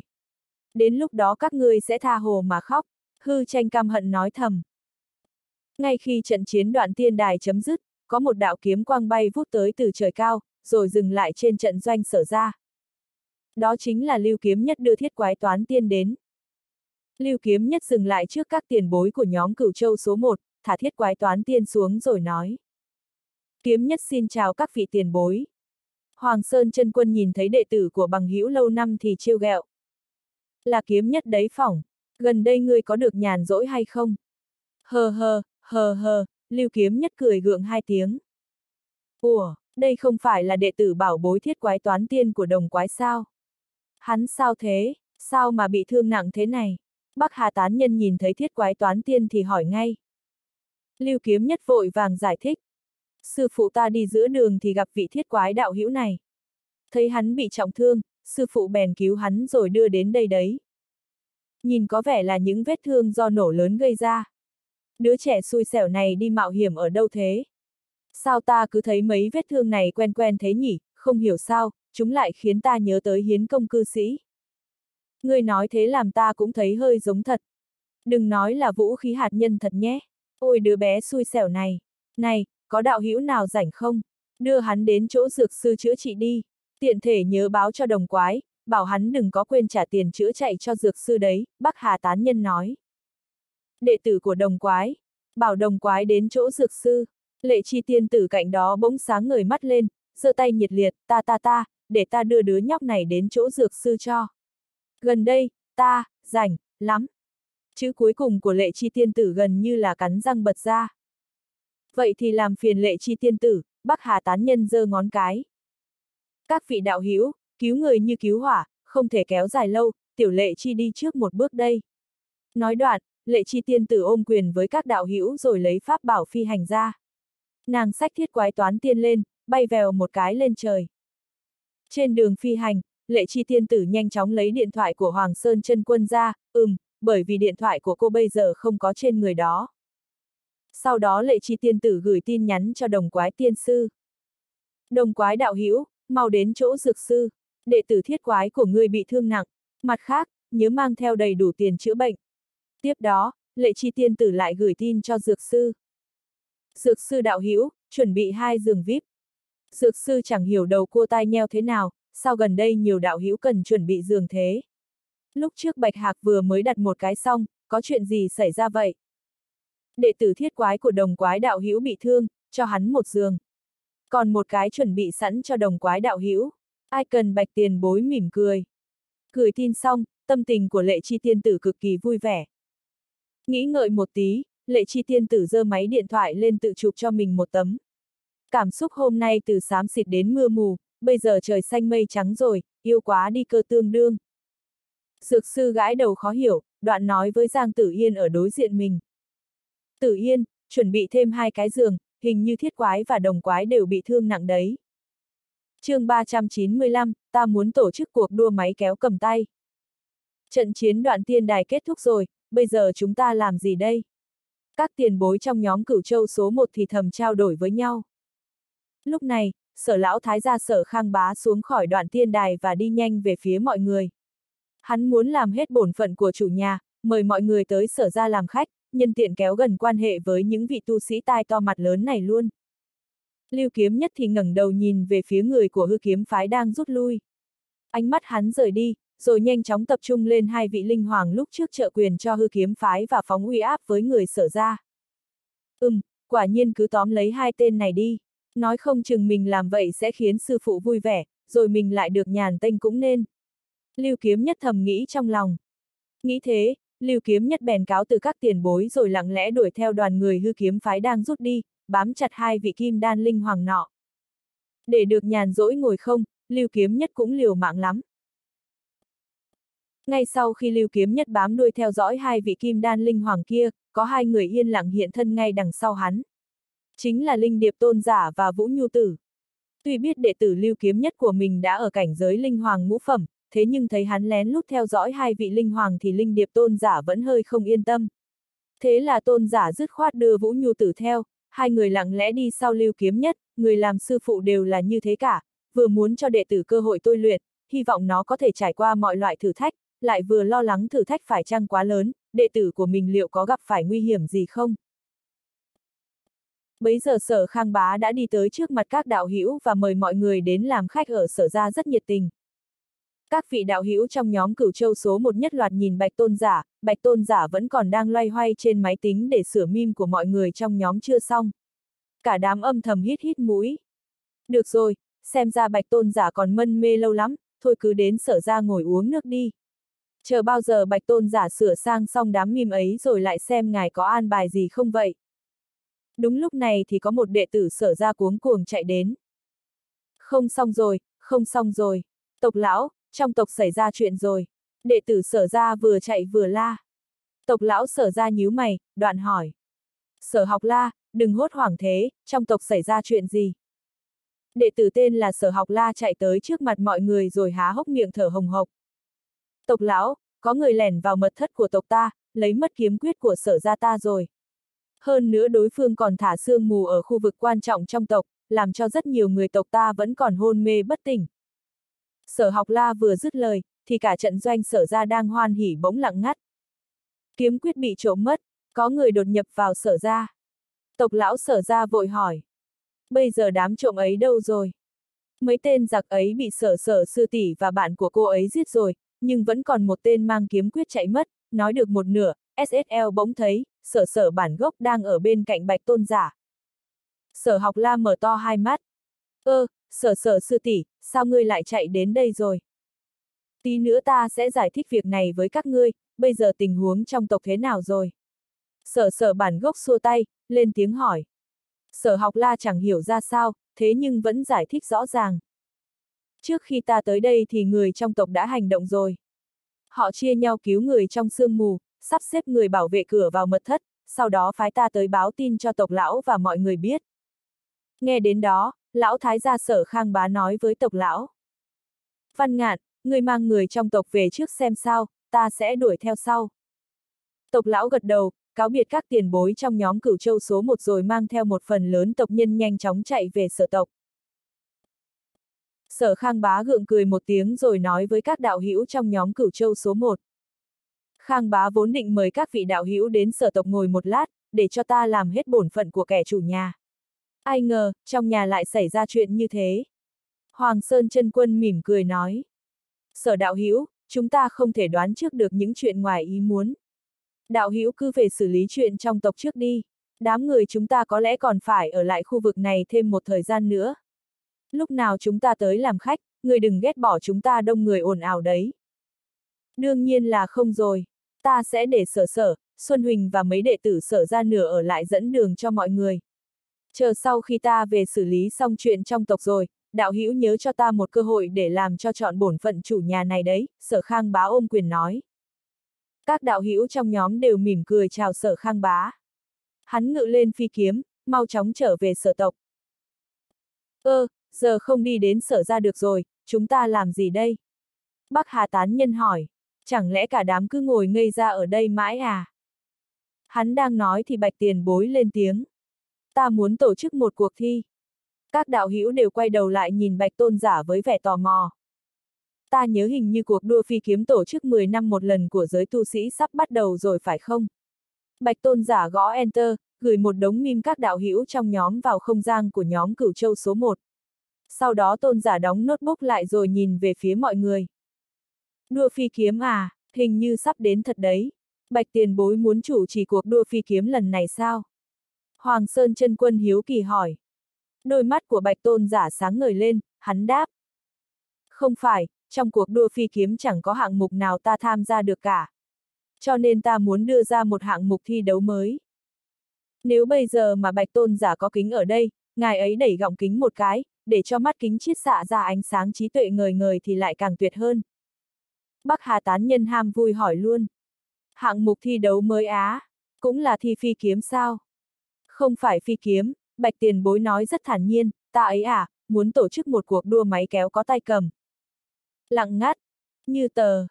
Trong phạm vi trăm thước quanh đó, bầu không khí tĩnh mịch đến mức có thể nghe được cả tiếng kim rơi. Bạch tiền bối à, hình như ban nãy tai ta bị làm sao ấy, nghe chẳng rõ gì cả. Đua cái gì cơ, cuồng đao tam lãng móc lỗ tai, hỏi lại. Đua máy kéo có tay cầm. Bạch tôn giả nói rõ từng từ, nói xong còn bổ sung thêm, cái loại bốn bánh mà có thùng xe ấy. Phụt, sở sở cô nương phá lên cười. Xin hãy lượng thứ cho cái sự dễ cười của sở sở cô nương. Cô cứ nghĩ đến việc một đám tu sĩ tiền bối gồm cả đạo trưởng, đại sư, tiên tử, quẻ sư, đao khách, kiếm khách trước mắt này, mỗi người lấy một chiếc máy kéo có tay cầm. Sau đó nào tiên tử, nào đại sư, nào đạo trưởng, ai nấy đều cầm cần điều khiển máy kéo trong tay, cắm vào đầu máy rồi ra sức đong đưa lắc lư. Hình ảnh đó thực sự là quá đẹp mà. Thế còn chưa hết, sau khi máy kéo khởi động còn phun ra một luồng khỏi đen cuồn cuộn nhé. Và một đám tiên tử, đại sư, đạo trưởng ngồi trên máy kéo, lao ra trường thi theo mỗi nhịp xe rung. Không ổn rồi, tức ngực quá. Quên mất tiêu mình bị thương vẫn chưa lành, cười một cái động đến vết thương rồi. Đau muốn chết mà vẫn buồn cười không chịu được, sắp bị nội thương đến nơi mất thôi. Một đám đạo hữu ở hiện trường đều ngu người đứng được ra. Bọn họ không ngừng móc lỗ tai, ôm ấp hy vọng mong manh là mình vừa mới nghe nhầm. Cứ tưởng tượng ra cái cảnh mình lái máy kéo có tay cầm ra đường là họ đã không biết phải hình dung ra sao nữa. Hơn nữa đây không phải điểm quan trọng nhất, điểm quan trọng nhất chính là ý của bạch tôn giả kia kìa. Ngài ấy muốn tổ chức cuộc đua máy kéo có tay cầm này cùng với cuộc đua phi kiếm 10 năm một lần luôn. Người đến tham gia và đến xem cuộc đua phi kiếm 10 năm một lần là tu sĩ khắp trời Nam đất Bắc, khỏi nói cũng biết đông đảo đến mức nào. Giữa tình cảnh ấy mà một đám đạo hữu trong nhóm cửu châu số một sách máy kéo có tay cầm ra, cầm cần điều khiển lái rầm rầm vào thi đấu thì còn biết giấu mặt đi đâu. Đến lúc đó, sự kiện, đua máy kéo có tay cầm, chắc chắn sẽ lan truyền chóng mặt khắp toàn bộ giới tu chân theo lời bàn tán của tu sĩ mọi miền mất. Đừng mà, đừng mà, xin đừng làm thế mà. Nhất định phải ngăn cản bạch tiền bối tổ chức cuộc đua máy kéo có tay cầm này mới được. Nhất định phải tìm ra một cái cớ thật hoàn mỹ để ngăn ngài ấy lại. Bạch tiền bối, tốc độ của máy kéo có tay cầm chậm lắm, tối đa cũng chỉ đi được có 2-30 mã thôi, chán chết đi được. Chúng ta đổi sang phương tiện giao thông khác có được không? Như là đua xe chẳng hạn, Bắc Hà Tán Nhân không hổ là thánh đấu sĩ của nhóm cửu châu số 1. Ngài tìm ra một lý do cực kỳ xác đáng, đi tiên phong phát động thế công với bạch tôn giả. Cho nên cuộc đua mà ta muốn tổ chức không phải là đua máy kéo có tay cầm bình thường, bạch tôn giả nói rất chi là bình thản, chúng ta phải cải tạo những chiếc máy kéo có tay cầm đó. Dùng cách gì cũng được, pháp thuật, phù văn, trận pháp, máy móc, miễn làm cho nó nhanh hơn, mạnh hơn được thì thôi. Chỉ cần nó vẫn là máy kéo có tay cầm là được. Cho nên phương diện tốc độ người khỏi lo đi. Bắc Hà tán nhân, 1.000, bại trận. Cuồng đao tam lãng lập tức nhận cờ tiến tới. Bạch tiền bối, máy kéo có tay cầm chỉ chạy được trên đất bằng thôi, chẳng kích thích gì hết. Thế thì còn không thú vị bằng đua phi kiếm bình thường ấy chứ. Việc này ngươi cũng không cần lo lắng, ta đã nghĩ tới từ sớm rồi, Bạch Tôn giả vươn tay chỉ về một phía xa xăm, nếu đường đua chỉ ở mặt đất thì không đủ kích thích thật. Cho nên chúng ta sẽ bổ sung thêm năng lực, chạy trên mặt nước, cho máy kéo có tay cầm. Đến lúc thi đấu thì sắp xếp địa điểm thi đấu ở bên bờ biển. Nửa đầu đường đua thì cho chạy trên đất, đoạn giữa sẽ đua trên mặt biển, còn có thể nghĩ tới những đường đua kích thích hơn nha. Chúng ta cưỡi gió đạp sóng trên mặt biển, chắc chắn là sẽ thú vị lắm. Cuồng đao tam lãng, 1.000, cây Âu. Tiếp đó, Bạch Hạc chân quân đứng lên. Vì thân phận, nhân viên chuyển phát nhanh, mà Bạch Hạc chân quân luôn ra sức co cụm thành một cục, làm nhạt đi cảm giác tồn tại của mình để tránh bị các đạo hữu khác chú mục vào. Thế mà bây giờ hắn lại đứng ra. Bạch tiền bối, Bạch Hạc chân quân nói vô cùng nghiêm túc. Các đạo hữu không khỏi nhìn chằm chằm vào Bạch Hạc chân quân. Bạch Hạc chân quân dám đứng ra cơ á. Hôm nay mặt trời mọc đằng Tây à. Bạch tôn giả. Ừ. Bạch tiền bối, Ta giơ cả hai tay hai chân và ba đôi cánh để ủng hộ kế hoạch của người. Cuộc đua máy kéo có tay cầm thực sự là cực kỳ ý nghĩa. Ta tán thành, ta sẽ là người tham gia đầu tiên. Bạch Hạc chân quân vẫn cực kỳ nghiêm túc. chương 396, lì xì của Hoàng Sơn chân quân. Bạch Hạc chân quân uy phong lẫm liệt quét mắt nhìn tất cả các đạo hữu nhóm cửu châu số một đang ở đó. Nếu đua phi kiếm hay đấu vũ lực thì hắn chẳng dám uy phong như thế giữa đám đạo hữu này đâu. Nhưng mà nói đến đua xe, thì hắn không sợ ông bà nào hết nhé. Hắn từng biến thành bộ dạng của người bình thường để giành cúp quán quân mấy cuộc thi đấu đua xe cấp thế giới liên tục. Mấy năm biến thành người thường ấy, hắn còn được thế nhân tôn xưng là tiểu sa vương trong giới đua xe kia Tuy rằng máy kéo có tay cầm không phải là xe đua, nhưng chung quy thì nó vẫn thuộc họ nhà xe cả. Chỉ cần là đua xe bốn bánh, à không, chỉ cần là đua xe có bánh thì Bạch Hạc chân quân ăn chắc sẽ đoạt được chức quán quân. Nếu mình có thể trở thành quán quân cuộc đua máy kéo có tay cầm này, thì nhất định là có thể càng thêm thân cận với Bạch Tôn giả hơn, quan hệ với ngài ấy cũng gần gũi hơn nhiều nhỉ. Bạch Hạc chân quân nghĩ như thế. Thế là hắn đứng ra. Toàn bộ các đạo hữu của nhóm cửu châu số một đều sẽ đua tranh với hắn, nhưng thế thì đã làm sao? Gió lốc hãy bốc lên đi, hắn không nào núng chút nào. Các đạo hữu trong nhóm liếc mắt nhìn nhau, vị nào vị nấy âm thầm gật đầu, nắm chặt nắm đấm. Con chim ngu ngốc này kiêu ngạo quá rồi. Cho dù hắn đã là chân quân lục phẩm, nhưng chúng ta nhất định phải dạy cho hắn một bài học cả đời khó quên. Được, Bạch Tôn giả cười ha hả, sau đó nói tiếp, mặt khác, đã có thì là phải có thưởng. Nếu cuộc thi này là do ta tổ chức thì đương nhiên phần thưởng cũng sẽ là ta đưa ra. 6. Ừm, thôi năm đi, năm người đứng đầu cuộc thi máy kéo có tay cầm lần này, sẽ được đi thăm dò một di tích đáy biển cùng ta sau khi cuộc đua kết thúc. Vốn dĩ bạch tiền bối định đưa theo sáu đạo hữu đứng đầu vào trong di tích kia, nhưng một suất trong đó đã cho bạch hạc chân quân rồi. Tôn giả muốn dùng nó làm thù lao cho bạch hạc chân quân vì đã giúp hắn lo liệu việc của giáo viên tiểu lý ở phương Tây lần trước. Di tích, Hoàng Sơn chân quân hứng thú, bạch tiền bối, đó là di tích thế nào vậy? Ừm, đó là một di tích rất cổ xưa, hình như là di sản từ thời đại trước. Trước khi ta bế quan lần trước thì bất ngờ va chạm với một chiếc quân hạm rồi phát hiện ra di tích ấy. Xong lúc đó ta phải bế quan ngay cho nên vẫn chưa đi thăm dò. Ta bèn phong ấn cửa vào di tích, giấu kín nó đi, Bạch Tôn giả giải thích. Thời đại trước chính là thời đại của thiên đạo cũ. Bạch Tôn giả vừa dứt lời thì các đạo hữu trong nhóm lập tức hứng thú bừng bừng. Di sản của thời đại trước, nếu đúng là như thế, thì không biết trong đó có thông tin gì liên quan đến trường sinh hay không. Phải biết rằng ở vào thời đại, thiên đạo cũ, từ thượng cổ đã có rất nhiều thiên tài mang, thiên mệnh chi tư, sáng lập ra, đạo của riêng mình. Tuy rằng bọn họ không thể kế thừa thiên mệnh, đạt tới thành tựu bất hủ, nhưng lại có thể tiến được nửa bước lên cảnh giới trên kiếp tiên cửu phẩm, tiếp xúc được với áo bí trường sinh.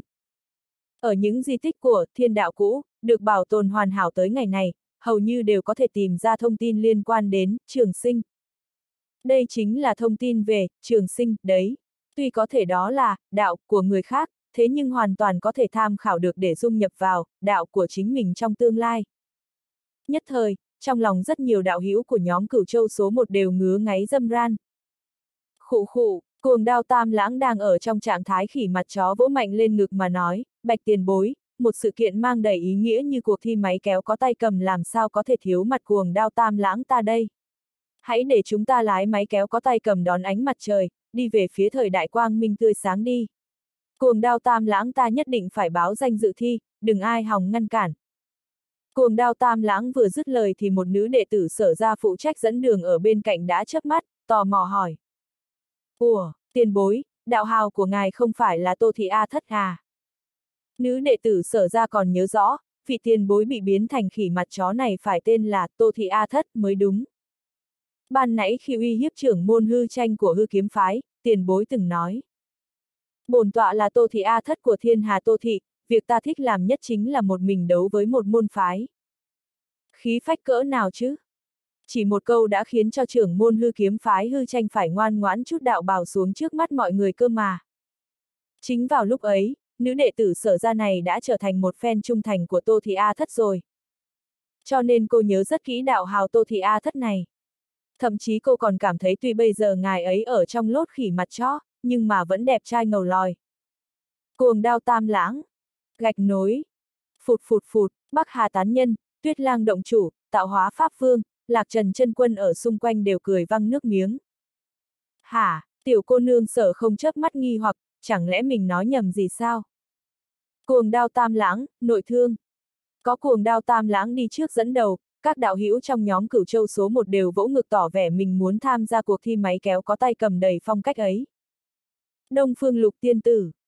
Bạch tiền bối, hướng về di tích của thời đại trước tính thêm ta nữa. Bắc Hà tán nhân. Ngẫm lại thì cuộc thi máy kéo có tay cầm có khi cũng thú vị lắm đây. Thực ra rất nhiều năm về trước ta cũng đã từng lái máy kéo có tay cầm rồi đấy. Lúc đó có một chiếc máy kéo có tay cầm là mốt lắm đó nha, tuyết lang động chủ. Động chủ còn tỏ vẻ hắn muốn hiện chân thân để đi tham dự cuộc thi máy kéo có tay cầm. Cổ Hà Quan chân quân. Kỳ thực hồi trước trong tay ta còn có cả một xưởng chế tạo máy kéo có tay cầm cơ đấy. Trong năm người dẫn đầu nhất định sẽ có tên ta. Đứng trước cám dỗ của, di tích thời đại trước, tiết tháo chẳng là cái đinh gì. Ngủ một giấc là lại tràn trề thôi. Cuối cùng, Hoàng Sơn chân quân cũng bình tĩnh buông bát cơm xuống. Rốt cuộc hắn cũng ăn xong bát cơm rồi. Vậy thì để ta cung cấp máy kéo có tay cầm cho sự kiện lần này đi. Có bao nhiêu người dự thi thì qua chỗ ta báo danh. Ta sẽ dựa theo nhân số để điều động số lượng máy kéo có tay cầm cần thiết với tốc độ nhanh nhất. Hoàng Sơn chân quân sẽ không nói cho các đạo hữu trong nhóm biết, là khi Bạch Tôn giả muốn học xe, hắn đã tặng cho Bạch Tôn giả một chiếc máy kéo có tay cầm đâu, áo áo áo. Cứ vui vẻ quyết định thế đi. Các đạo hữu trong nhóm thi nhau báo danh tham dự. Sau khi thống kê người đăng ký dự thi xong, Hoàng Sơn chân quân lại nghĩ tới một việc. Đúng rồi, thư hàng tiểu hữu vẫn chưa về à? Chân quân tìm hắn có việc gì? Bắc Hà tán nhân hỏi. À, ta muốn tặng hắn một cái lì xì to, Hoàng Sơn chân quân nói rồi thò tay bắt kinh ba tiểu đậu đậu qua chỗ mình. Đậu đậu gào ầm lên. Hoàng Sơn đại ngốc, ngươi làm trò gì thế? Nên về nhà rồi, Hoàng Sơn chân quân nói. Ừ đâu, người nói về là ta về ngay thì còn mặt mũi nào nữa. Đậu đậu chảnh chó, ít nhất người cũng phải đích thân ra ngoài, vượt qua muôn sông nghìn núi, hao hết tâm tư vất vả gian lao tìm thấy ta, sau đó mới mang ta về chứ. Đây là thành ý tối thiểu, người có hiểu không hả? Hoàng Sơn chân quân cười sang sảng. Đừng nghịch nữa, lần này ngươi chơi lêu lỏng bên ngoài đủ lâu rồi, đừng quấy giày thư hàng tiểu hữu nữa, về nhà đi thôi. Ừ đâu, ta không muốn về. Ta còn muốn đóng phim với thư hàng, ta muốn làm vai chính kinh ba trong phim điện ảnh, ta muốn làm đại minh tinh, ta tuyệt đối không về. Đậu đậu liều mạng vung vuốt, chu chéo ẩm lên. Lần này không phải do ngươi quyết định, Hoàng Sơn chân quân sờ sờ một lúc, lấy vòng cổ đeo vào cho đậu đậu. Hoàng Sơn đại ngốc, ta liều mạng với ngươi.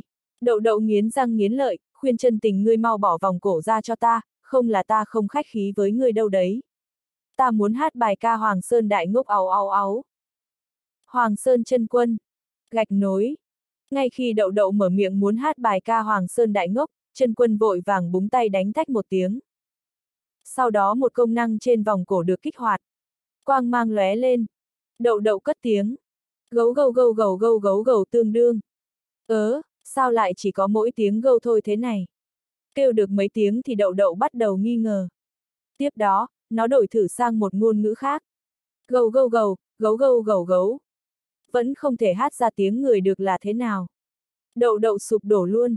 Nó đổi liên tục mấy thứ tiếng mà vẫn chỉ có tiếng gâu gâu van lên, đã thế tiếng gâu cũng nhỏ xíu. Ha ha, vòng cổ chó mới luyện chế ra đó. Trước đó không lâu ta phát hiện ra chức năng cấm nói của nhóm rất là hay. Sau đó bèn thử cải tạo vòng cổ của ngươi một chút, Hoàng Sơn chân quân đắc ý.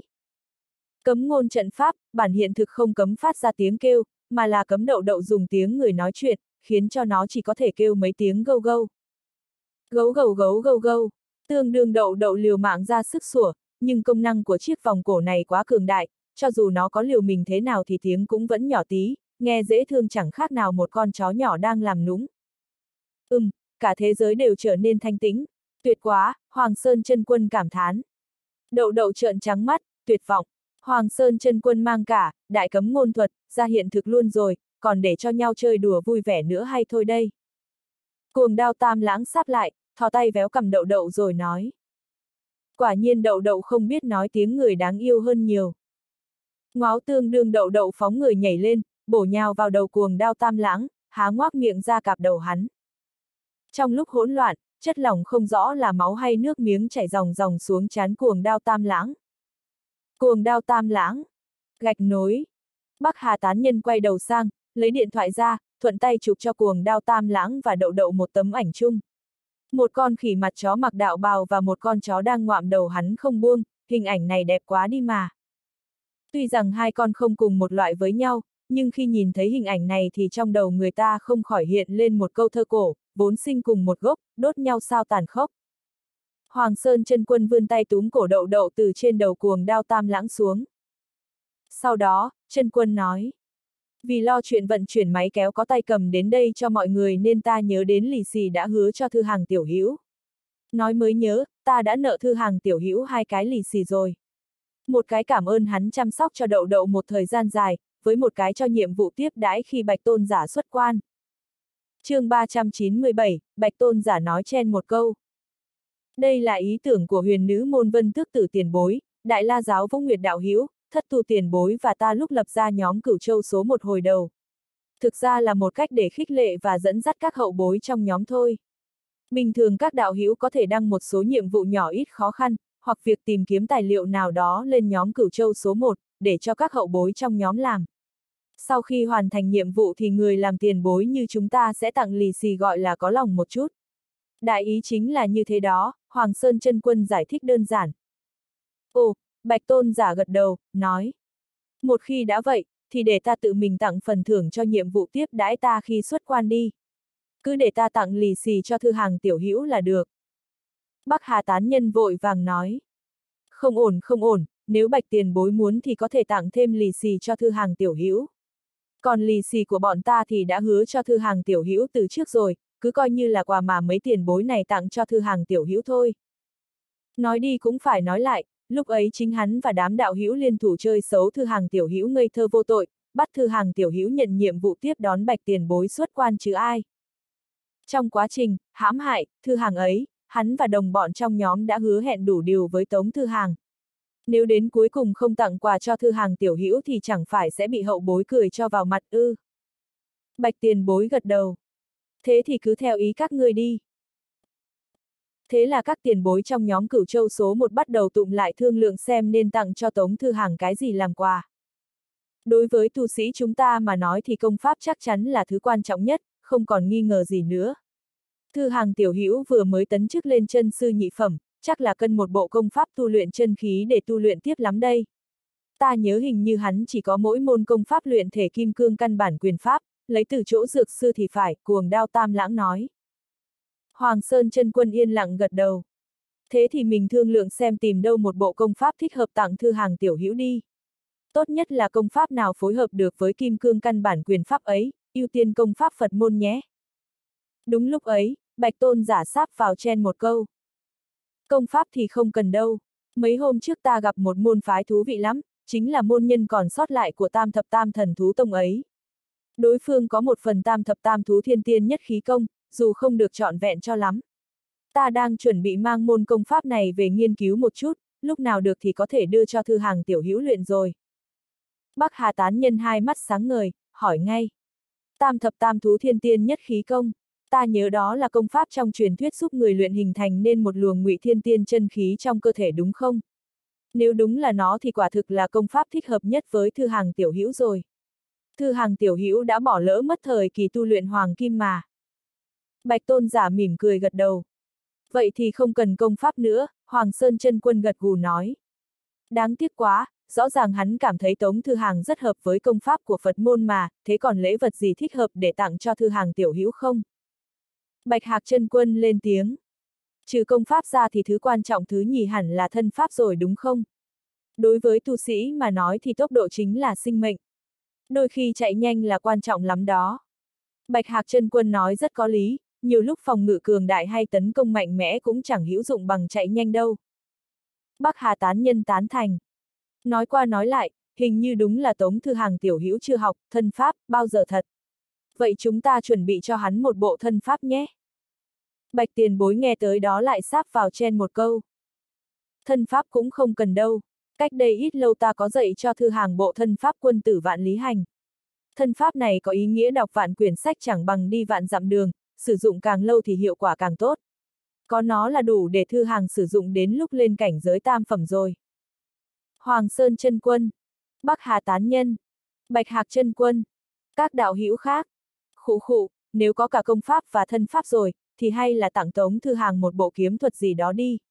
Ta thấy hắn có mỗi chiêu hỏa diễm đao, hình như hơi thiếu hụt về khoản công kích đấy, tạo hóa pháp vương nhắc nhở. Ban nãy trên đoạn tiên đài tống thư hàng dùng đi dùng lại một chiêu hỏa diễm đao, điều này ai cũng thấy. Bắc Hà tán nhân gật đầu.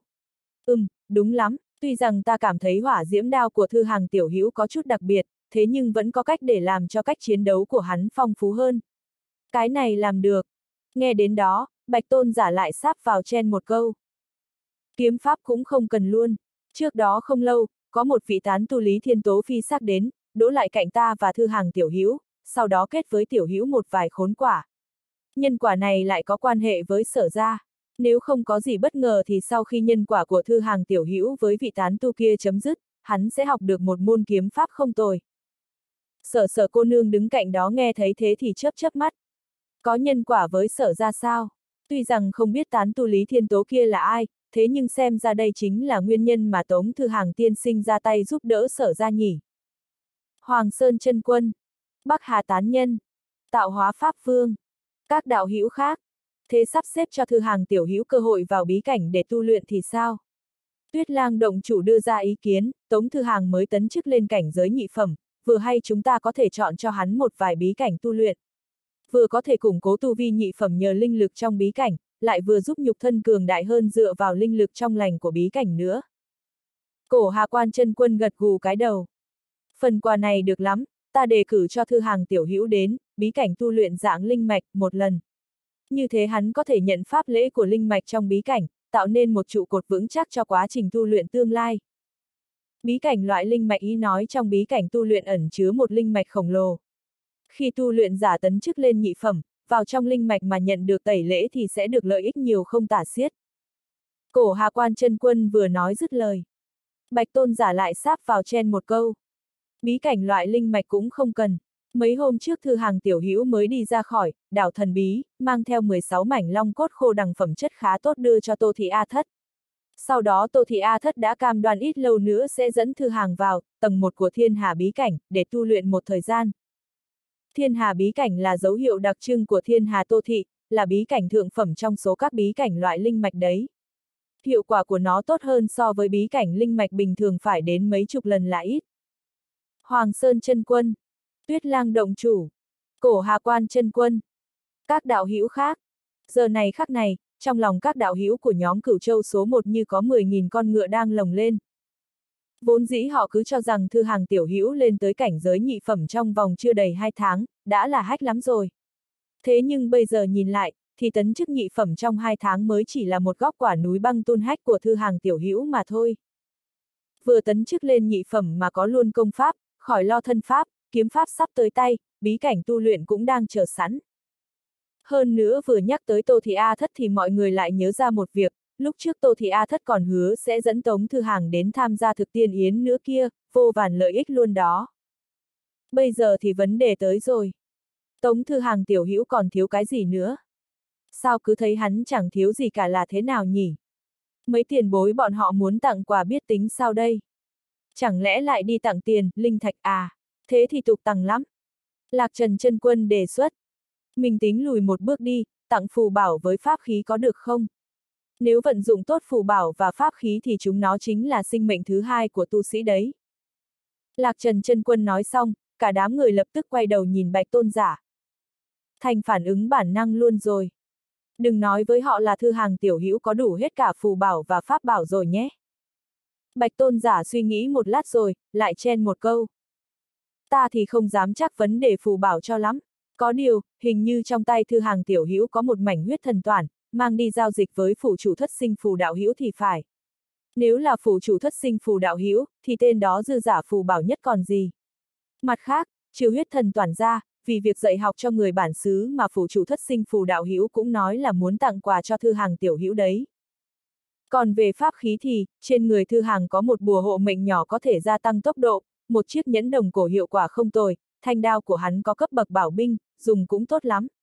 À đúng rồi, trước đây không lâu hắn tóm được một đà chủ của vô cực ma tông giao cho tô thì A thất đạo hữu A thất lột được không ít pháp khí lặt vặt trên người tên đó, đều cho thư hàng hết. Ta có nhìn qua một chút, trong đó có một thanh phi kiếm nhỏ, một pháp khí phi hành, còn có một đống linh thạch thượng vàng hạ cám. Hoàng Sơn chân quân. Thế mà chúng ta quên mất phủ chủ thất sinh phù đạo hữu. Cuồng đao tam lãng. Ta nhớ đống đồ đó là thu hoạch khi A thất đạo hữu san bằng nguyệt đao tông thì phải. Chật chật. Các đạo hữu khác. Gạch nối. Nói cách khác, Tống Thư Hàng tiểu hữu cũng không thiếu phù bảo, pháp khí, phi kiếm, phi đao, hay sao? Thế cuối cùng là hắn thiếu cái gì? Sao lại có cảm giác không biết xuống tay từ đâu thế này? Như thể là sau khi bước chân vào cảnh giới nhị phẩm, thì chẳng mấy lâu nữa là thư hàng tiểu hữu sẽ lên đời ấy. Nói đến thế này thì ta nghĩ tới nghĩ lui cũng chỉ còn có đan dược thôi. Mọi người ai cũng cần dùng đan dược đúng không? Đặc biệt là thư hàng tiểu hữu vừa lên nhị phẩm, ắt phải cần một lượng đan dược khôi phục chân khí và tăng cường tu vi rất lớn. Tuyết lang động chủ nói. Nói xong, cả đám lại quay đầu nhìn bạch tôn giả theo bản năng. chương 398, áo cà sa ngọc bích.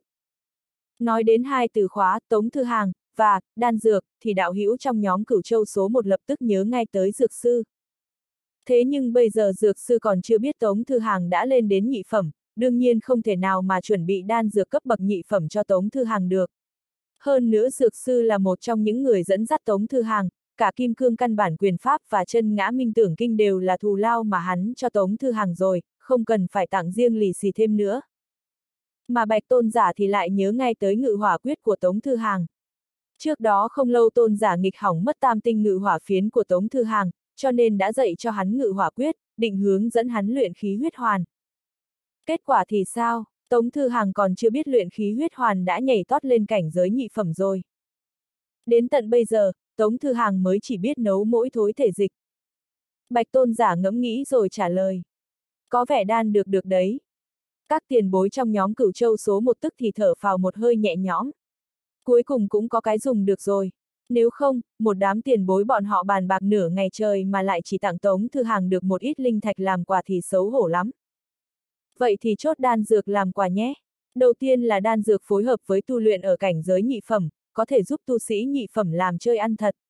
Đan được loại này của nhà ai hiệu quả tốt nhất? Hoàng Sơn chân quân hỏi. Cổ Hà Quan chân quân trả lời. Thư hàng tiểu hữu mới tấn chức lên tu sĩ nhị phẩm, dùng đan dược có dược lực nhu hòa là chính. Cho nên ta đề cử đan dược của thiên tinh các, chỗ họ có một loại đan dược gọi là thiên tinh luyện chân hoàn, hiệu quả không tồi. Các đệ tử mới tấn chức nhị phẩm ở tông môn của ta đều dùng đan dược loại này. Hơn nữa thiên tinh các vẫn đang nghiên cứu cải tiến đan dược ấy, bây giờ đã có thiên tinh luyện chân hoàn bản 6S rồi đấy. Một lọ 32 viên, mỗi ngày tu luyện dùng một viên là đủ.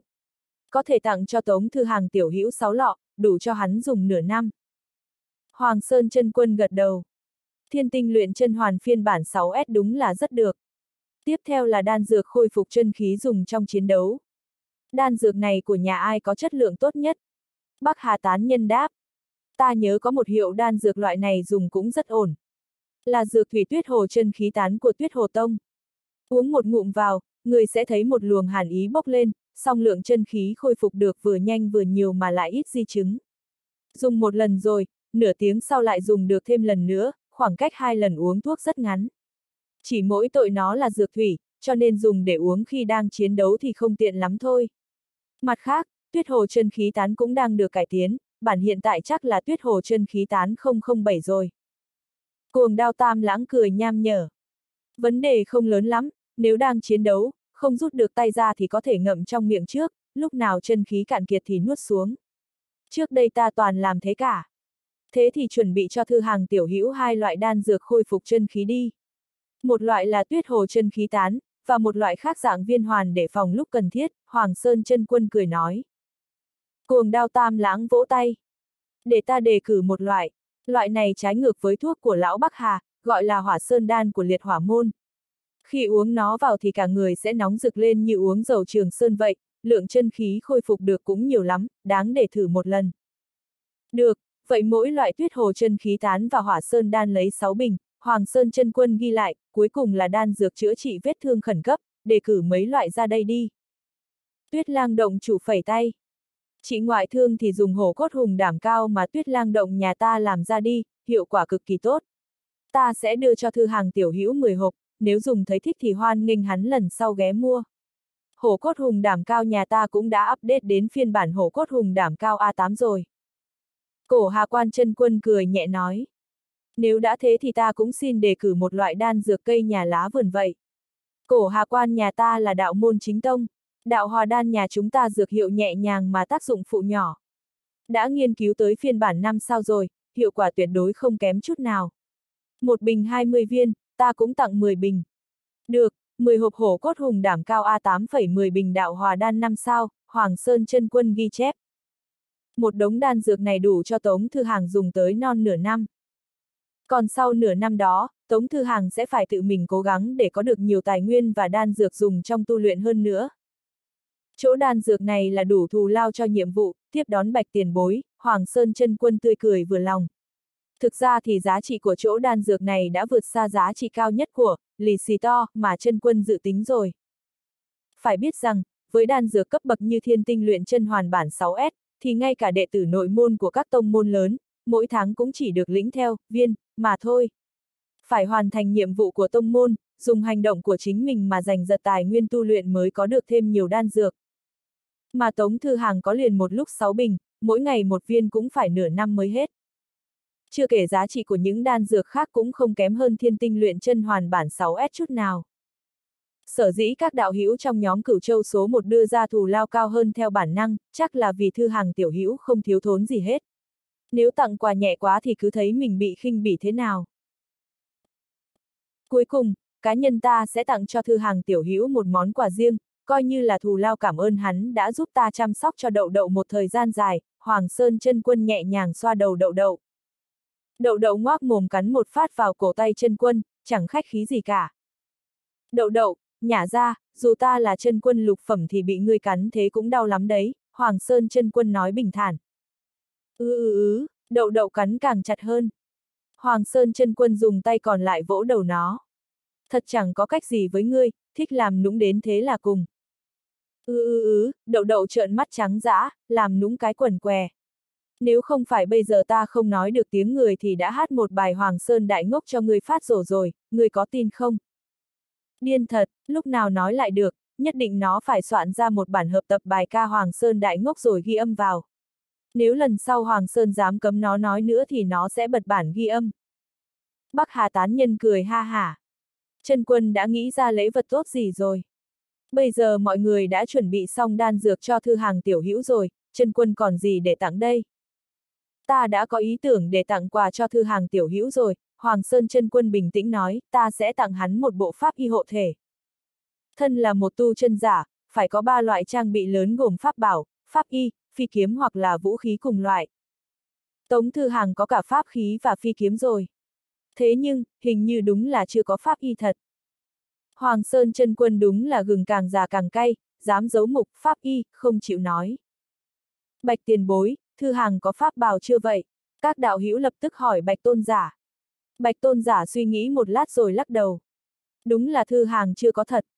Bắc Hà Tán Nhân hỏi tiếp. Chân quân có pháp y thích hợp chưa?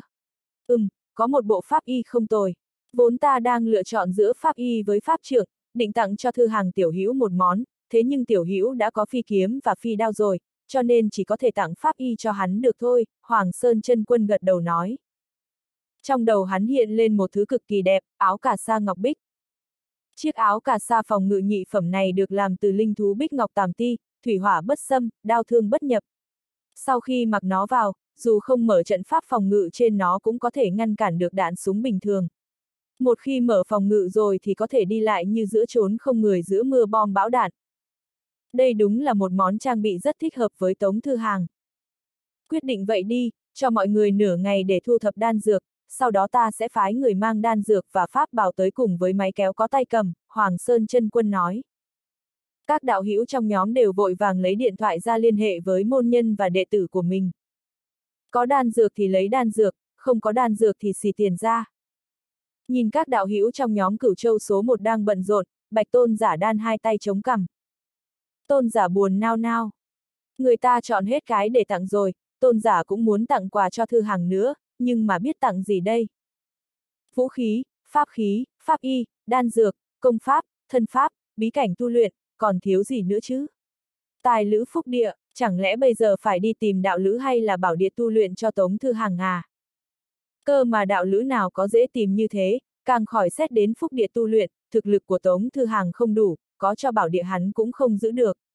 Nói không chừng còn dẫn mấy tên không có mắt tới gây sự cướp đoạt nữa ấy chứ. Mà thôi, thuyền đến đầu cầu tự khắc sẽ thẳng.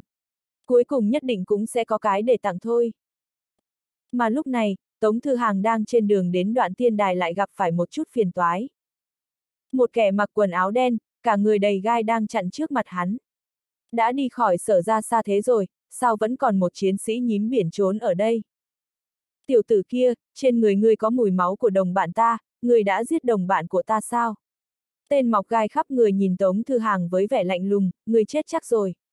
Không có đường sống, chỉ có một con đường chết. Tống Thư Hàng. Gạch nối chấm.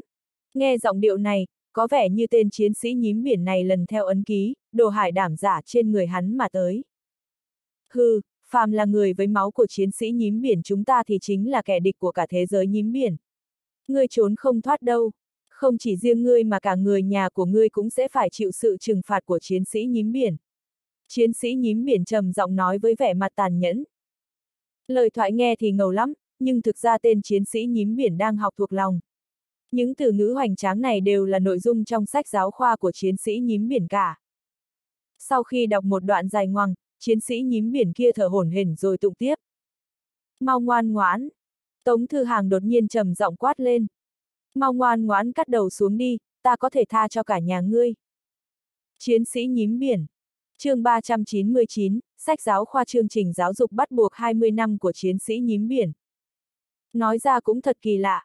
Tuy rằng chiến sĩ nhím biển trước mắt mặt mũi dữ tợn và nói ra những lời hung hăng nặng nề sát khí, thế nhưng Tống Thư Hàng vừa liếc mắt nhìn một cái thì đã lập tức cảm thấy nó đang học thuộc lòng. Đây là một phán đoán bằng trực giác dựa vào kinh nghiệm nhân sinh tích lũy nhiều năm. Tống Thư Hàng cảm thấy dường như trong một phần ký ức thẳm sâu nào đó đã bị quên đi, hắn đã từng gặp loại tu sĩ nghiêm túc học thuộc lòng bản thảo như thế này rồi. Cho nên chỉ cần nhìn tư thế một cái là hắn phán đoán ra ngay. Ngươi, ngươi cướp lời của ta. Ngươi là đồ cỏ lả đáng chết. Chiến sĩ nhím biển cả giận nói. Một người đang học thuộc lòng mà bị cắt ngang thì rất dễ chết tắc luôn, chiến sĩ nhím biển này cũng rơi vào tình trạng đó. Còn cò lạ thì là vì, bây giờ giọng nói của Tống Thư Hàng vẫn đang là giọng của sở sở cô nương. Sau khi chết tắc cạn lời, chiến sĩ nhím biển thẹn quá hóa giận. Nó hét lớn một tiếng rồi rút hai chiếc gai nhọn đen xì từ bên hông ra, nhằm thẳng vào Tống Thư Hàng mà vung gai đâm tới. Đồ con người đáng chết, ta chính là anh hùng nhím độc trong quân đoàn chiến sĩ nhím biển đó. Ngươi chết chắc rồi. Tống Thư Hàng dương bảo đao bá toái rồi nhẹ nhàng dùng một chiêu đao pháp trụ cột để đỡ đòn. Bá toái sắc bén chém gãy gai nhọn trong tay chiến sĩ nhím biển.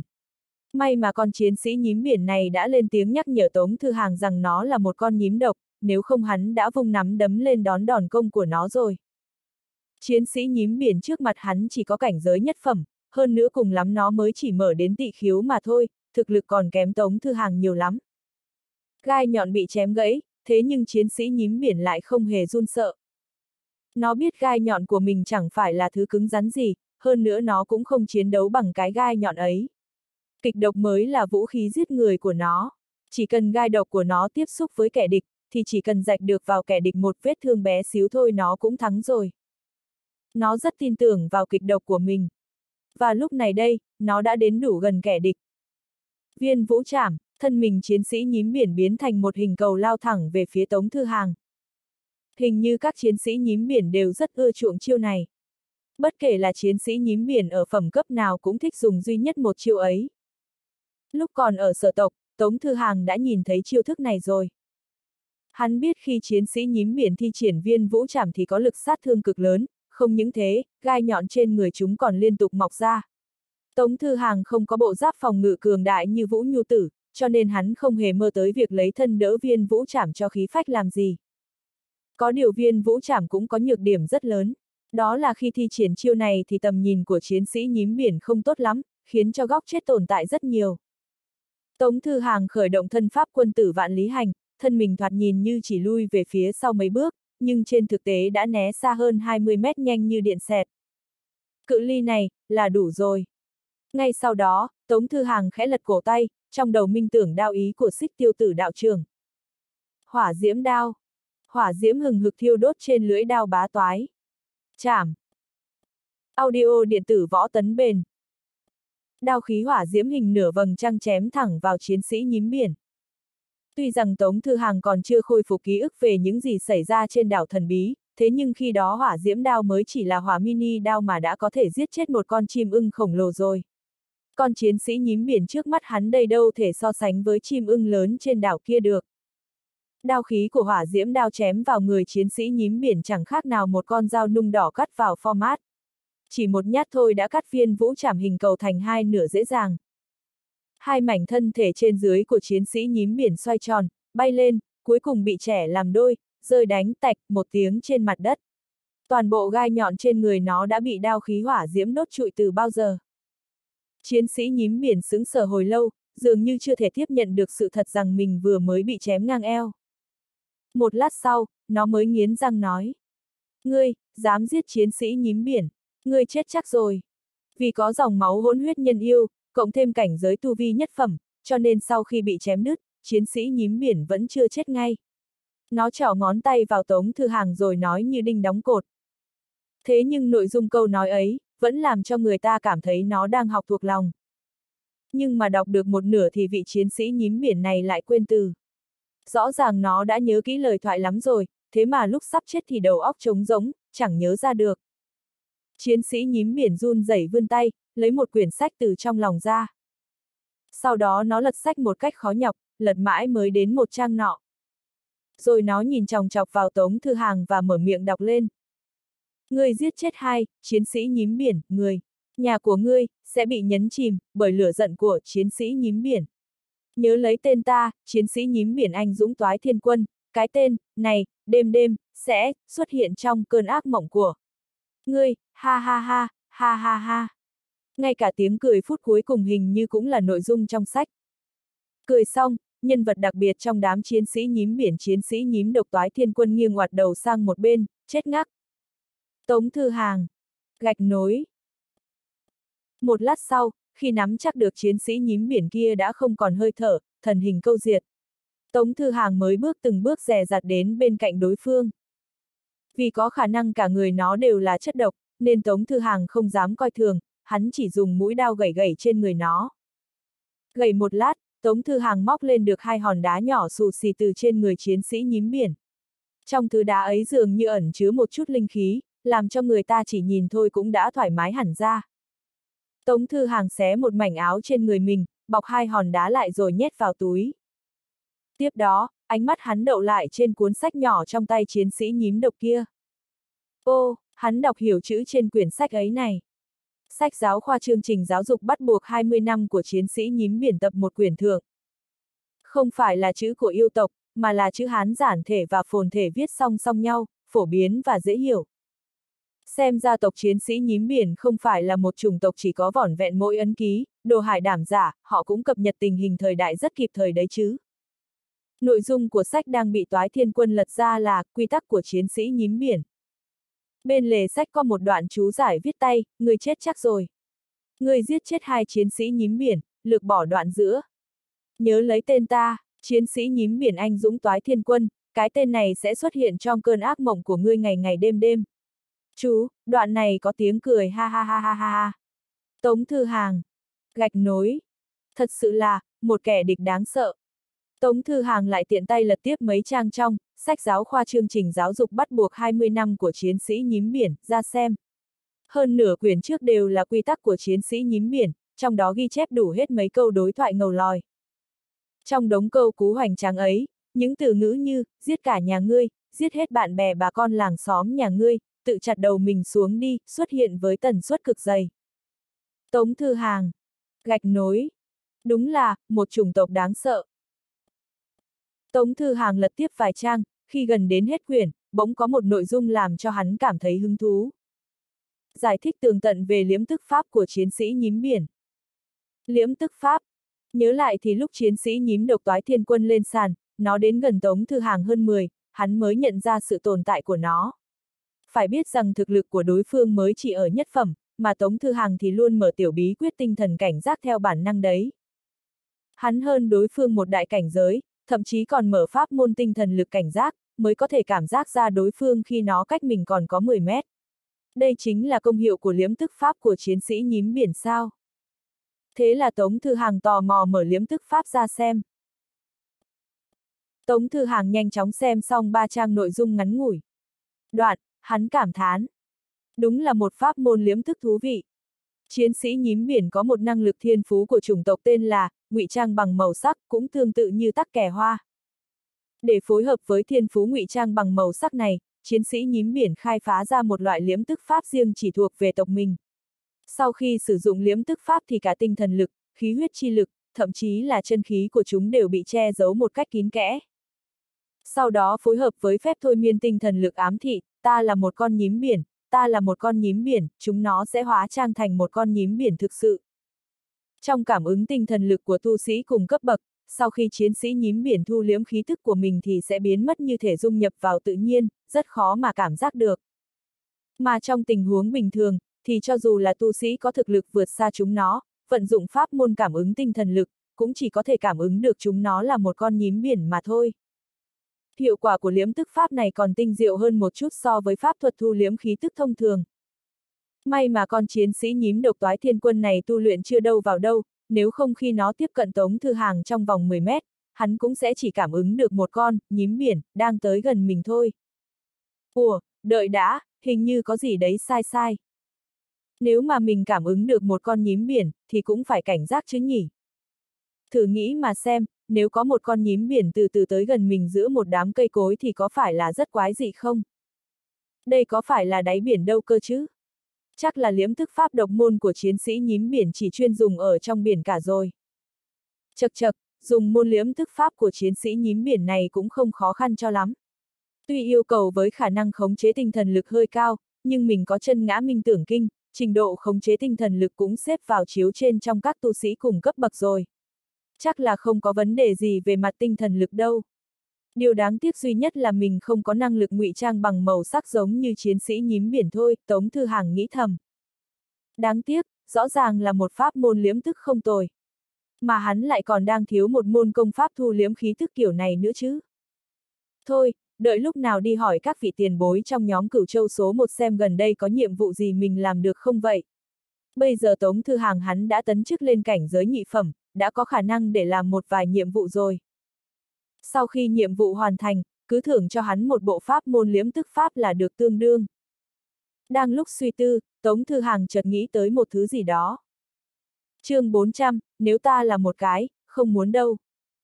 Tống Thư Hàng đột nhiên tưởng tượng, nếu dùng biến huyễn hung châm làm để phối hợp, nối tiếp vào trình tự cuối cùng của chiến sĩ nhím biển ngụy trang liếm tức pháp thì sẽ tạo ra hiệu quả gì nhỉ? Nói không chừng có thể hoàn thiện được liếm tức pháp này cũng nên. Thử phát không? Thử có mất thuế đâu.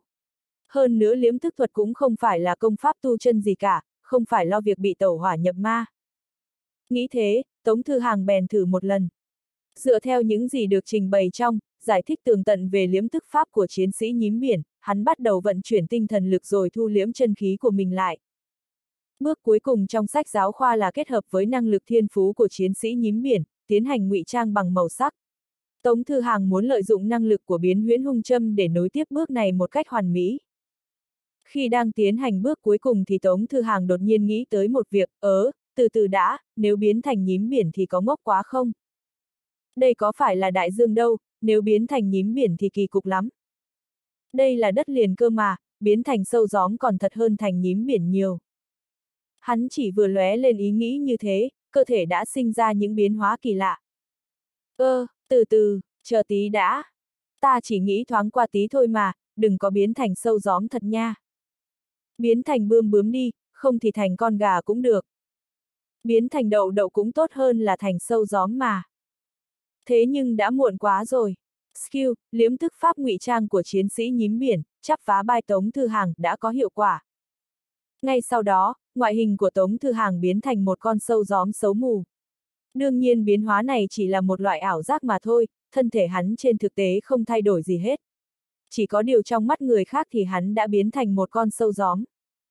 Hơn nữa, liếm tức pháp ngụy trang của chiến sĩ nhím biển, bản chỉnh sửa cũng đã phát huy công hiệu của nó. Lúc này đây khí tức của Tống Thư Hàng thu liếm hẳn, chân khí ẩn trong đan điền, không hề biểu lộ ra ngoài một chút mảy may. Không biết bây giờ trong cảm ứng tinh thần lực của người ta, hắn đan là sâu gióm hay là nhím biển nhỉ? Ấy thế mà mình làm chơi ăn thật, Tống Thư Hàng bật cười. Thôi không đùa nữa, mình mau biến lại thôi. Không biết trận chiến đoạn tiên đài đã kết thúc chưa, vạn nhất mấy người bạch tiền bối đi mất thì phiền to, Tống Thư Hàng nghĩ thầm trong lòng. Đúng vào lúc Tống Thư Hàng chuẩn bị giải trừ liếm tức pháp ngụy trang thì, thì có mấy bóng người đi rất nhanh từ xa tiến lại. Trong cảm ứng tinh thần lực cảnh giác của hắn thì đây là sáu con, nhím biển, đang đi tới bên này, lại có chiến sĩ nhím biển tới đây sao? Chẳng lẽ là lại là chiến sĩ nhím biển lần theo ấn ký đồ hải đảm giả đến à? Hắn đang suy tư thì sáu chiến sĩ nhím biển đã tới hiện trường. Tất cả chúng đều có tu vi nhị phẩm, chân khí hùng hậu còn hơn Tống Thư Hàng một bậc. Chúng nó mau chóng nhìn thấy đồng tộc chết cứng chiến sĩ nhím độc toái thiên quân. Chết tiệt, lại có đồng bạn bị giết hại rồi. Một chiến sĩ nhím biển cao lớn nghiến răng gần lên. Có một chiến sĩ nhím biển tới gần kiểm tra thi thể của toái thiên quân một chút rồi nói với giọng nặng nề. Máu còn chưa lạnh, hung thủ còn chưa đi xa. Cảm ứng ấn ký báo thủ đi, chúng ta nhất định phải băm thây hung thủ làm trăm mảnh. Khi nói đến hai chữ báo thù, trong mắt của tất cả các chiến sĩ nhím biển đều đỏ ngầu sắc máu và miệng chúng thì phát ra tiếng gầm như dã thú.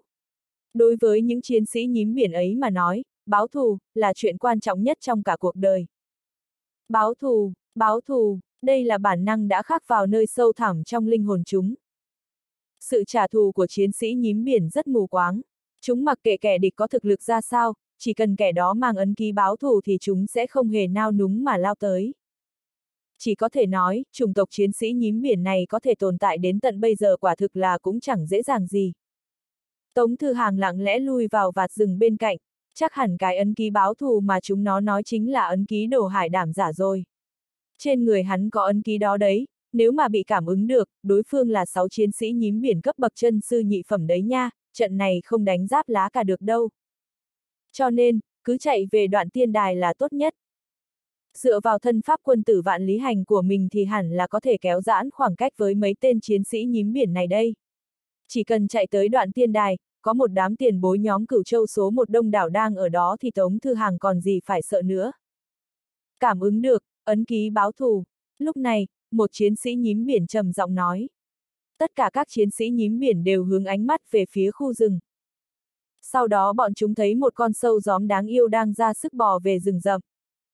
Sâu gióm à? Chắc là nó bị dính nhầm máu của chiến sĩ nhím biển chúng ta rồi, trong biển cả cũng hay xảy ra việc này lắm. Máu tươi mà chiến sĩ nhím biển chúng ta chảy trước khi chết đều chứa ấn ký báo thù.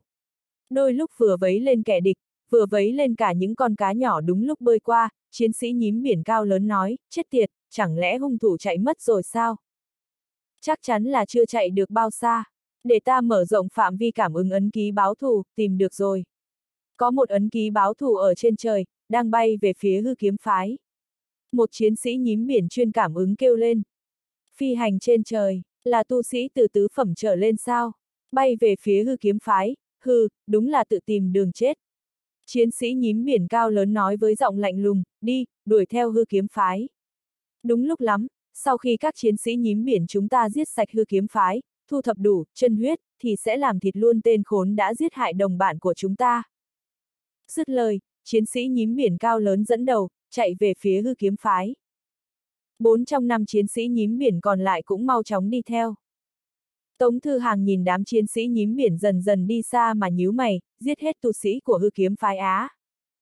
Lẽ nào tu sĩ của hư kiếm phái và đám chiến sĩ nhím biển này không cùng một bọn hay sao? Tống Thư Hàng vốn nghĩ rằng hư kiếm phái dẫn người của sở ra đến đoạn tiên đài, rồi chiến sĩ nhím biển và tiên sinh, thừa cơ lẻn vào nhà họ sở. Hắn còn từng suy đoán không biết hai nhóm này có cùng một ruột với nhau hay không.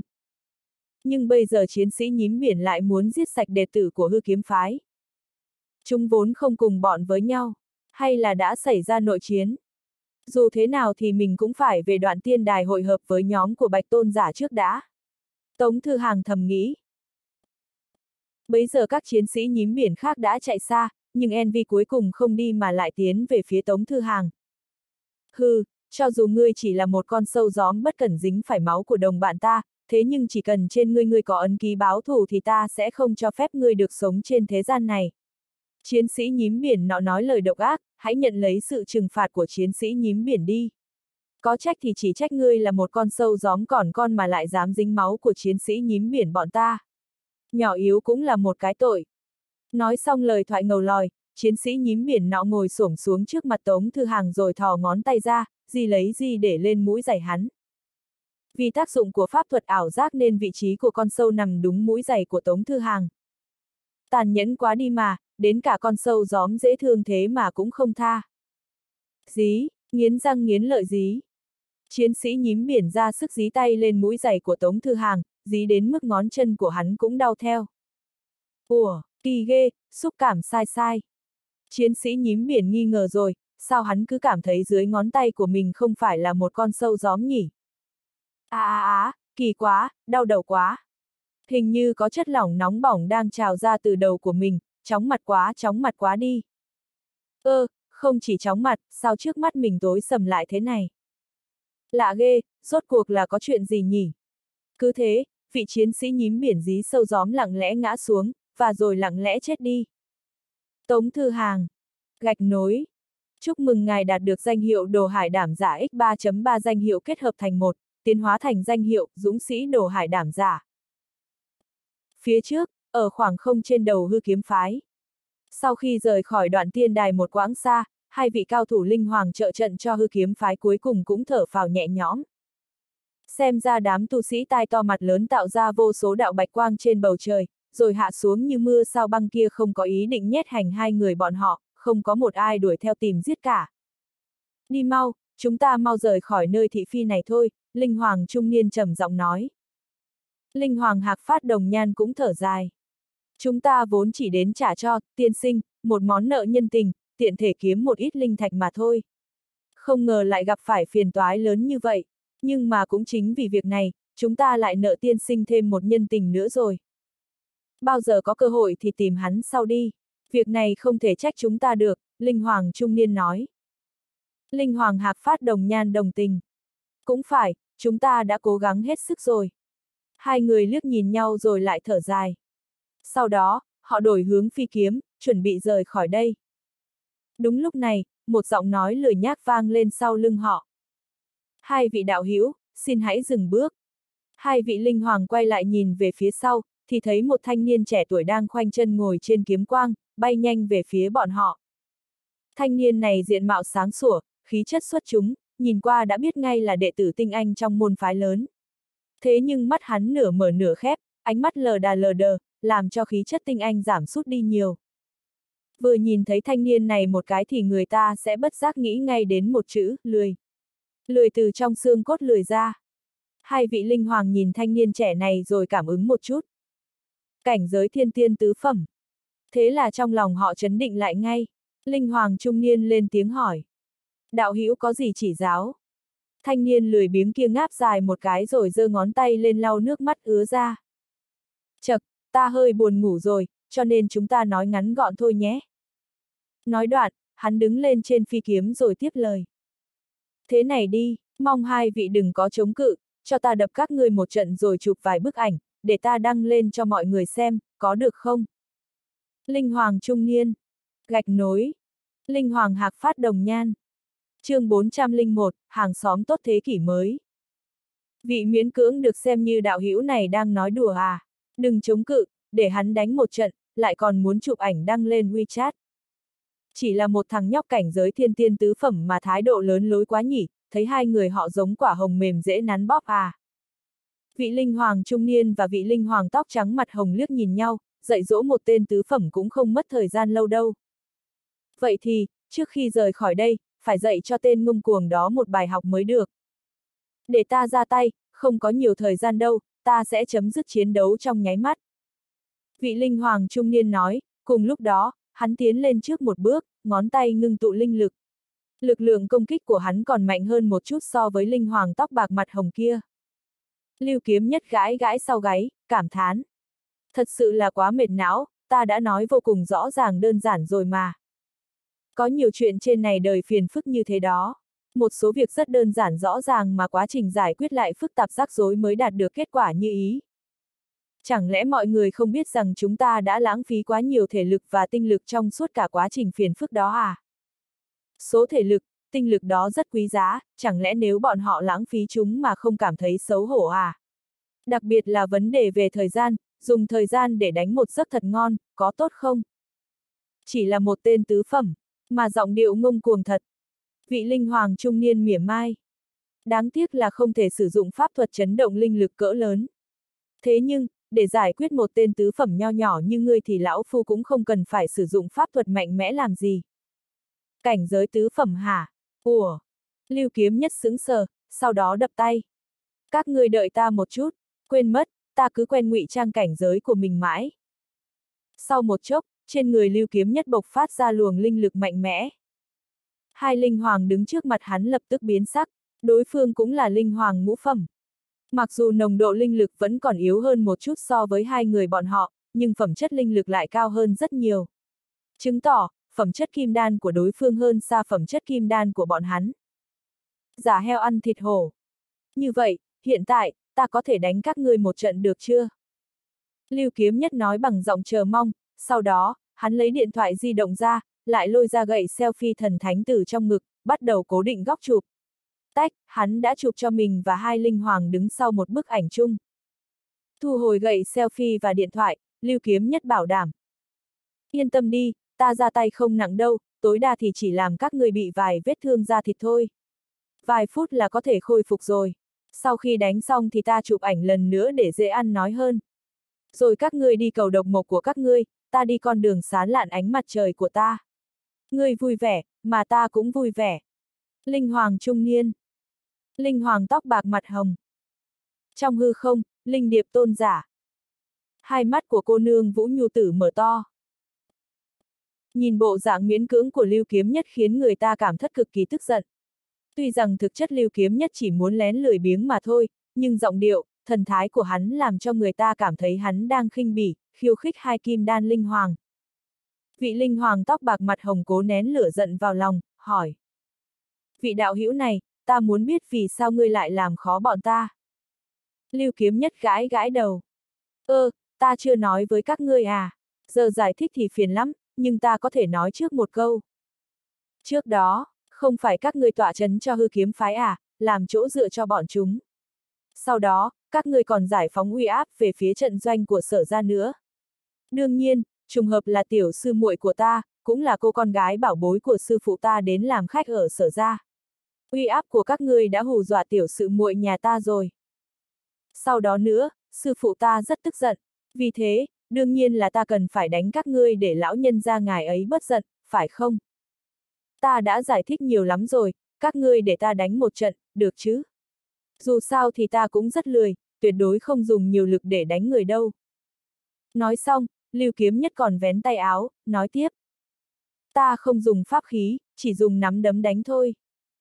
Linh Hoàng trung niên. Linh Hoàng tóc bạc mặt hồng. Thật sự là cái thằng ôn này không coi ai ra gì, ngông cuồng. Đừng nói nhiều lời, muốn đánh nhau thì xem thực lực rồi tính tiếp. Giọng điệu Linh Hoàng trung niên trở nên nghiêm túc hẳn. Vị Linh Hoàng tóc bạc mặt hồng cũng không nói gì nữa, tế ra một lá cờ nhỏ, dùng hành động để nói chuyện. Lưu kiếm nhất. Ta giải thích đến tận răng rồi mà không có một chút tác dụng nào. Nếu thế, tự dưng ta lại phải lãng phí nước bọt khua môi múa mép để làm chi? Chẳng lẽ hai người này không biết rằng chỉ cần nói chuyện thôi cũng đã lãng phí nhiều thể lực lắm à? Hơn nữa, nói chuyện vừa lãng phí thể lực, lại còn lãng phí nước bọt nữa, mỗi một giọt nước bọt đều là phần nước quý giá của cơ thể đó. Chấm. Thế là khó tránh khỏi một trận đại chiến rồi. Lưu Kiếm Nhất và hai người linh hoàng. Vị linh hoàng trung niên kia phát động công kích đầu tiên. Còn vị linh hoàng tóc bạc mặt hồng chịu trách nhiệm phòng ngự. Hai người, một công một thủ, phối hợp chặt chẽ, hoán chuyển trang thái công thủ vô cùng lưu loát như nước chảy mây trôi. Lưu Kiếm Nhất sử dụng chiến thuật phòng ngự phản công, hắn đứng trên phi kiếm, binh tới tướng đỡ, nước tới đất ngăn. Phòng thủ chặt chẽ cẩn thận, thỉnh thoảng hắn còn dùng chiêu phản công. Chỉ trong nháy mắt, hai bên đã chiến đấu hơn 300 chiêu. Cả hai đều rất ăn ý, không sử dụng pháp thuật hay kỹ năng phạm vi lớn. Tổ hai người linh hoàng không muốn gây ra sóng to gió lớn, dù sao thì bọn họ đang muốn chạy trốn. Còn lưu kiếm nhất quá lười, sử dụng kỹ năng hay pháp thuật phạm vi lớn sẽ tiêu hao nhiều năng lượng, một người luôn tuân theo chủ nghĩa tiết kiệm năng lượng như hắn luôn quan niệm rằng, nếu chỉ cần dùng một ngón tay để làm việc, nhất định là hắn sẽ không sử dụng hai ngón tay. Chẳng mấy chốc, hai bên lại chiến đấu thêm 300 chiêu. Cứ kéo dài mãi với hai vị linh hoàng này cũng không được, lưu kiếm nhất hơi nhíu mày, nếu tiếp tục như thế, có lẽ hắn sẽ phải tiêu hao nhiều thể lực hơn nữa đó. Vì thế, chốc lát sau, tình thế biến đổi đột ngột. Điệp hoàng biến. Lưu kiếm nhất quát khẽ. Sau đó, một hư ảnh phượng hoàng cháy rừng rực xuất hiện sau lưng lưu kiếm nhất, đôi cánh phượng hoàng tuyệt đẹp như cánh bướm. Từ khi phượng hoàng cánh bướm xuất hiện, hào quang hỏa diễm bắt đầu bao phủ cả một vùng không gian. Trong không gian lửa đỏ này, giác quan của hai vị linh hoàng đều mất tác dụng, tinh thần lực chỉ cảm ứng trong phạm vi chưa đến một mét. Cả năm giác quan lẫn tinh thần lực chỉ có thể cảm nhận được khí thức hỏa diễm của Phượng Hoàng ở khắp nơi. A a a a! Hai linh hoàng kêu lên từng đợt đầy thảm thiết. Sau đó, hai linh hoàng mất đi ý thức. Hư ảnh Phượng Hoàng cánh bướm biến mấy, trong không khí chỉ còn lại mùi khét. Lưu kiếm nhất chật chật lưỡi. Quá đáng ghét, hao hết calorie trong hai ngày của ta rồi, ta cần phải nghỉ ngơi trong bao lâu mới có thể khôi phục được hết số năng lượng này đây. Không cảm thán nữa, Lưu Kiếm Nhất dùng linh lực nâng thân thể của hai vị linh hoàng bị nướng cháy đen lên.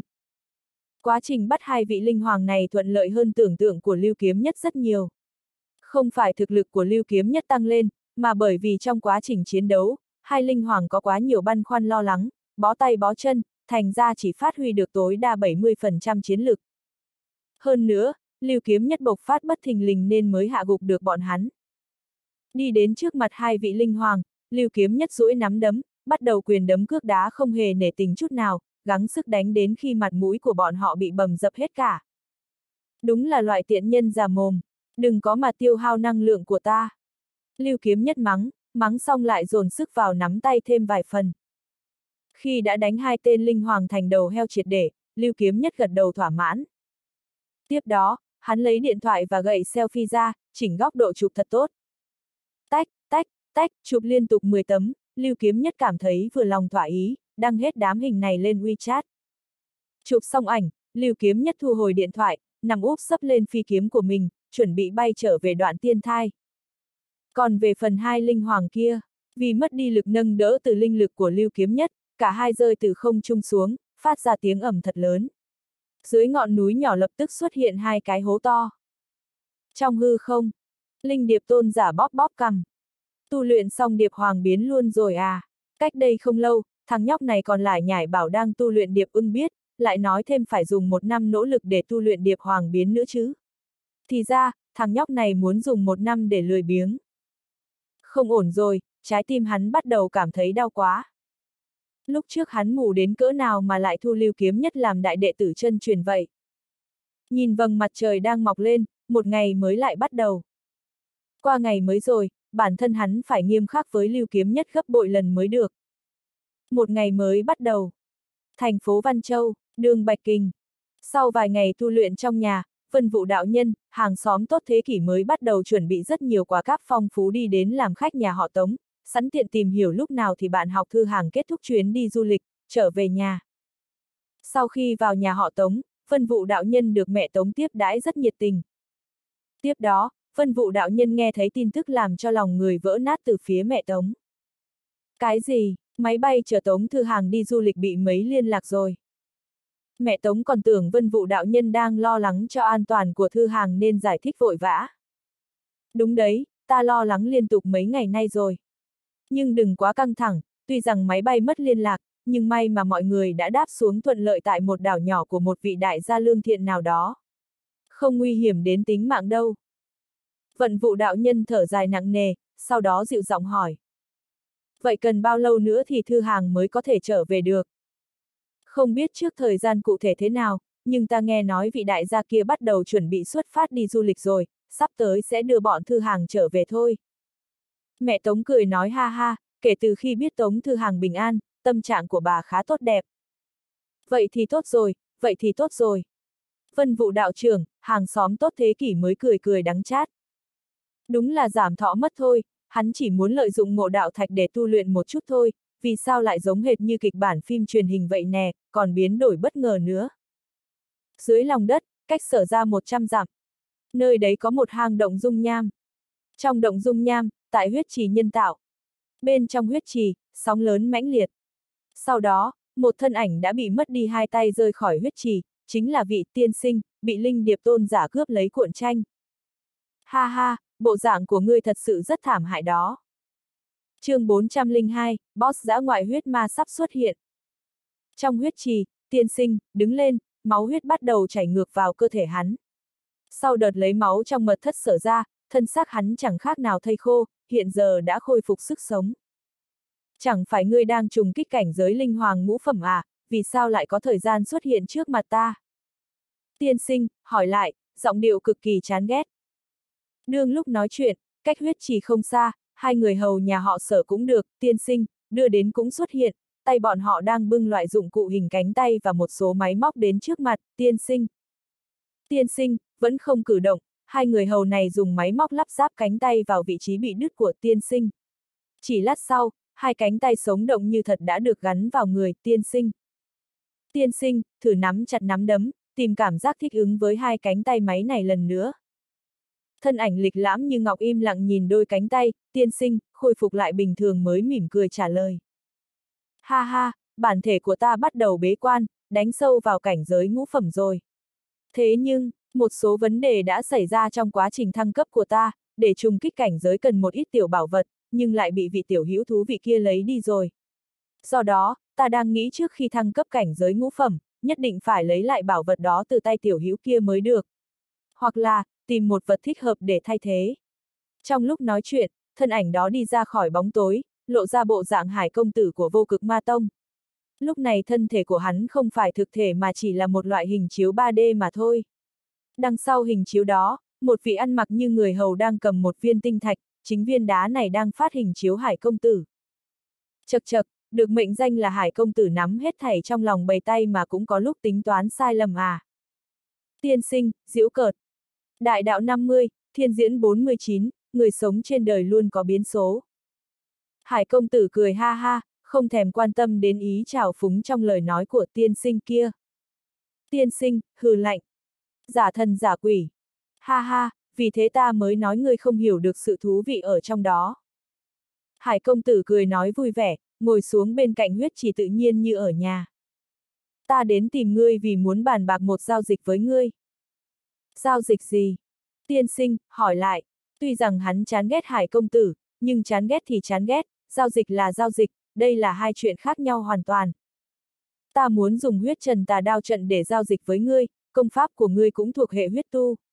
Ta nghĩ rằng nếu ngươi có thể ngưng tụ ra bản mệnh huyết thần đao thành công thì nhất định sẽ có trợ giúp cho việc đột phá cảnh giới ngũ phẩm sau này, đúng không? Hải công tử vẫn giữ thái độ cực kỳ vui vẻ. Tiên sinh, hơi sững sờ, tên hải công tử này dám giao dịch huyết thần tà đao trận với hắn à? Đây chẳng phải là cơ sở để hắn thăng cấp ngũ phẩm ư. Dường như hải công tử nhìn ra sự ngờ vực trong mắt, tiên sinh, nên cười khẽ giải thích. Mặc dù bản mệnh huyết thần đao chính là cơ sở giúp ta thăng cấp, nhưng chỉ là cơ sở tạm thời mà thôi. Hơn nữa, môn công pháp này không phải là công pháp vô cực ma tông chúng ta. Chỉ cần có điều kiện giao dịch phù hợp, vì sao ta không thể giao dịch nó chứ? Thôi được, vậy ngươi có yêu cầu gì? Rất hiển nhiên, tiên sinh, đã động lòng rồi. Ta muốn một viên huyết hải ngọc, tuy rằng ta không muốn thừa nhận, nhưng ta khẳng định cơ hội để ta cướp lại huyết thần toàn từ tay vị tiểu hữu kia vô cùng xa vời, ta cần một vật thay thế. Hải công tử cười ha ha, trần thuật yêu cầu của mình. Huyết hải ngọc à, ha ha, lòng tham của ngươi cũng không nhỏ chút nào đâu. Giọng điệu, tiên sinh, lạnh lùng. Ừ, nhưng, giao dịch này nằm trong phạm vi ngươi có thể chấp nhận được, đúng chứ? Hải công tử nhún vai. Thực ra, bởi vì thời gian quá mức gấp rút, bằng không thì nếu ta tiến hành huyết thần tà đao trận thêm lần nữa, rất có thể sẽ đạt được một số huyết thần toàn, đúng là quá tiếc nuối. Vì thế, nếu nói chính xác, người kiếm lời trong lần giao dịch này mới đúng. Một viên huyết hải ngọc đổi lấy bản mệnh huyết thần đao giúp thực lực ngươi tăng mạnh, số mệnh của ngươi đúng là nghịch thiên đó. Ha ha! Tiên sinh, hừ lạnh, nói tiếp. Được thôi, ngươi nói rất đúng, ta không có lý do gì để từ chối giao dịch lần này. Vậy hình thức giao dịch thế nào đây?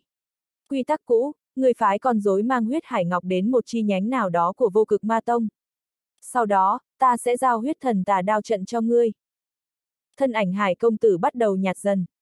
Đây không phải là lần đầu tiên giao dịch giữa hai người, không cần phải giải thích quá tỉ mỉ một số chi tiết làm gì. Được, ta đã hiểu. Tiên sinh, phất tay áo, ngụ ý tiễn khách. Thân ảnh hải công tử càng lúc càng mờ, cuối cùng, hắn lại hỏi thăm bằng giọng tò mò. Thực ra, ta rất tò mò muốn biết, lần này ngươi thất bại trong tay ai thế? Ta nhớ, ngươi đã sắp xếp chuyện bên sở ra từ rất lâu rồi phải không? Tuy rằng năng lực sắp xếp bố cục của ngươi khá tệ, nhưng ta luôn nhìn nhận năng lực dùng mánh khóe bịp người của ngươi rất mạnh. Với tài năng đó, nhất định có thể lừa gạt đám người đó xoay mòng mòng mới đúng. Tò mò quá nhiều không phải là thói quen tốt đâu, hải công tử. Tiên sinh, cắn răng, cảnh cáo. Ngươi nói thế càng làm ta cảm thấy tò mò hơn, nhân lúc ta còn chưa biến mất, chỉ bằng ngươi kể cho ta nghe tình hình lúc đó đi. Có lẽ, ta có thể giúp ngươi sắp xếp cũng nên. Hôm nay, tâm trạng của ta vô cùng tốt đó. Hải công tử cười nói.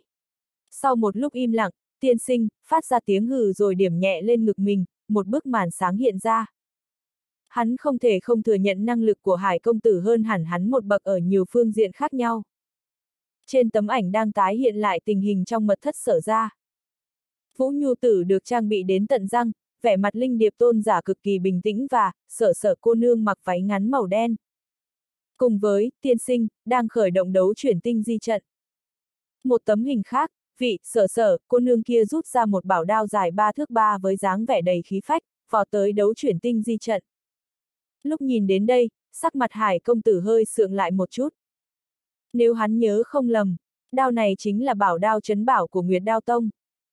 Đao mang tên bá toái, dài ba thước ba, được luyện chế từ lôi trì trọng kim, trí dương trí cương, độ cứng vượt xa những bảo đao cùng dai, có thể chém nứt thân thể của tu sĩ tứ phẩm. Vốn dĩ đây chính là binh khí của tông chủ Nguyệt Đao Tông Phách Thiên Quân nhưng cuối cùng nó lại rơi vào tay của một người thanh niên có đạo hiệu là Thư Sơn áp lực đại, thì phải. Đúng là một bất ngờ thú vị. Chẳng lẽ chuyện này có quan hệ gì với Thư Sơn áp lực đại kia? Trong lúc suy nghĩ, một tấm hình khác xuất hiện, ghi lại tình cảnh Linh Điệp Tôn giả dùng tay không đâm vào trong đấu chuyển tinh di trận, bắt lấy cuộn tranh trong tay tiên sinh, bằng lực rất mạnh. Đến đây thì hình ảnh đã chấm dứt. Tiên sinh, đóng màn hình chiếu, yên lặng chờ đợi hải công tử, hắn muốn nghe phân tích của đối phương. Sau một hồi trầm mặc, hải công tử nói. Có tổng cộng 4 cuộn tranh, người đã dùng phương pháp thiên thủ môn để giấu ba cuộn tranh kia rồi đúng không? Vị tiên sinh, gật gật đầu, hắn không chỉ chủ tu công pháp hệ huyết tu mà còn dày công tôi luyện thuần thục thuật trộm cắp thiên thủ môn. Đáng lẽ, thiên thủ môn không hề kém cạnh khi so với tiên giới đạo môn không không đạo môn. Khác với sự phát triển rực rỡ của không không đạo môn, chẳng biết từ khi nào mà thiên thủ môn xuống dốc theo thời gian. Đến bây giờ, truyền thừa thiên thủ môn đã leo lắt đến mức gần như tuyệt tích. Ta cho ngươi lời khuyên thế này, lập tức xử lý ba cuộn tranh đó nhanh nhất có thể. Phục chế cũng được, nghiên cứu cũng được, nhưng phải khai thác hết bí mật bên trong đó càng sớm càng tốt. Sau đó, ngươi hủy diệt luôn cả ba bức tranh, hoặc, ngươi ném ba cuộn tranh đó đi thật xa, đừng để nó tiếp tục dính líu đến ngươi thêm giây phút nào nữa. Hải công tử mỉm cười, thân ảnh của hắn biến mất. Ta chỉ nói đến thế thôi. Vị tiên sinh, nghe thấy, sắc mặt lập tức thay đổi. Hắn hiểu rõ ngụ ý trong lời nói của Hải công tử, e rằng ba cuộn tranh này đã bị người ta dở thủ đoạn, sau đó vị tu sĩ đáng sợ kia sẽ lần theo dấu vết của ba cuộn tranh tìm tới chỗ của hắn. Đờ mờ. Tiên sinh, hết sức sầu não. Sau một lát, vẻ mặt tiên sinh, lộ ra nét tàn nhẫn, hắn cầm một quyển tạp chí, rồi nhìn chằm chằm vào nội dung đưa tin được in trên đó. Nếu muốn lần theo dấu vết để tìm thấy ta, nằm mơ đi. Ban đầu ta còn dự định đợi đến phút cuối mới dẫn dụ đám người đó đến đây, lại hốt gọn một mẻ lũ ngu chiến sĩ nhím biển luôn, lấy tinh huyết của bọn chúng và đệ tử hư kiếm phái. Nhưng tình hình hiện tại thế này, ta phải dẫn dụ đám người đó đến sớm hơn mới được. Đây là tờ tu sĩ Nhật Báo. Trong đó, tờ báo này có đăng một tin về vũ trụ thiên ma. Vũ trụ thiên ma, có tu sĩ gọi chúng là vực ngoại thiên ma, dù sao thì không ai biết rõ đám đồ chơi này xuất hiện từ đâu, chúng cũng chẳng khác gì sao băng, hàng năm cứ rơi xuống địa cầu một ít. Một số thiên ma vừa ma sát với tầng khí quyển thì bị đốt cháy thì cho bụi.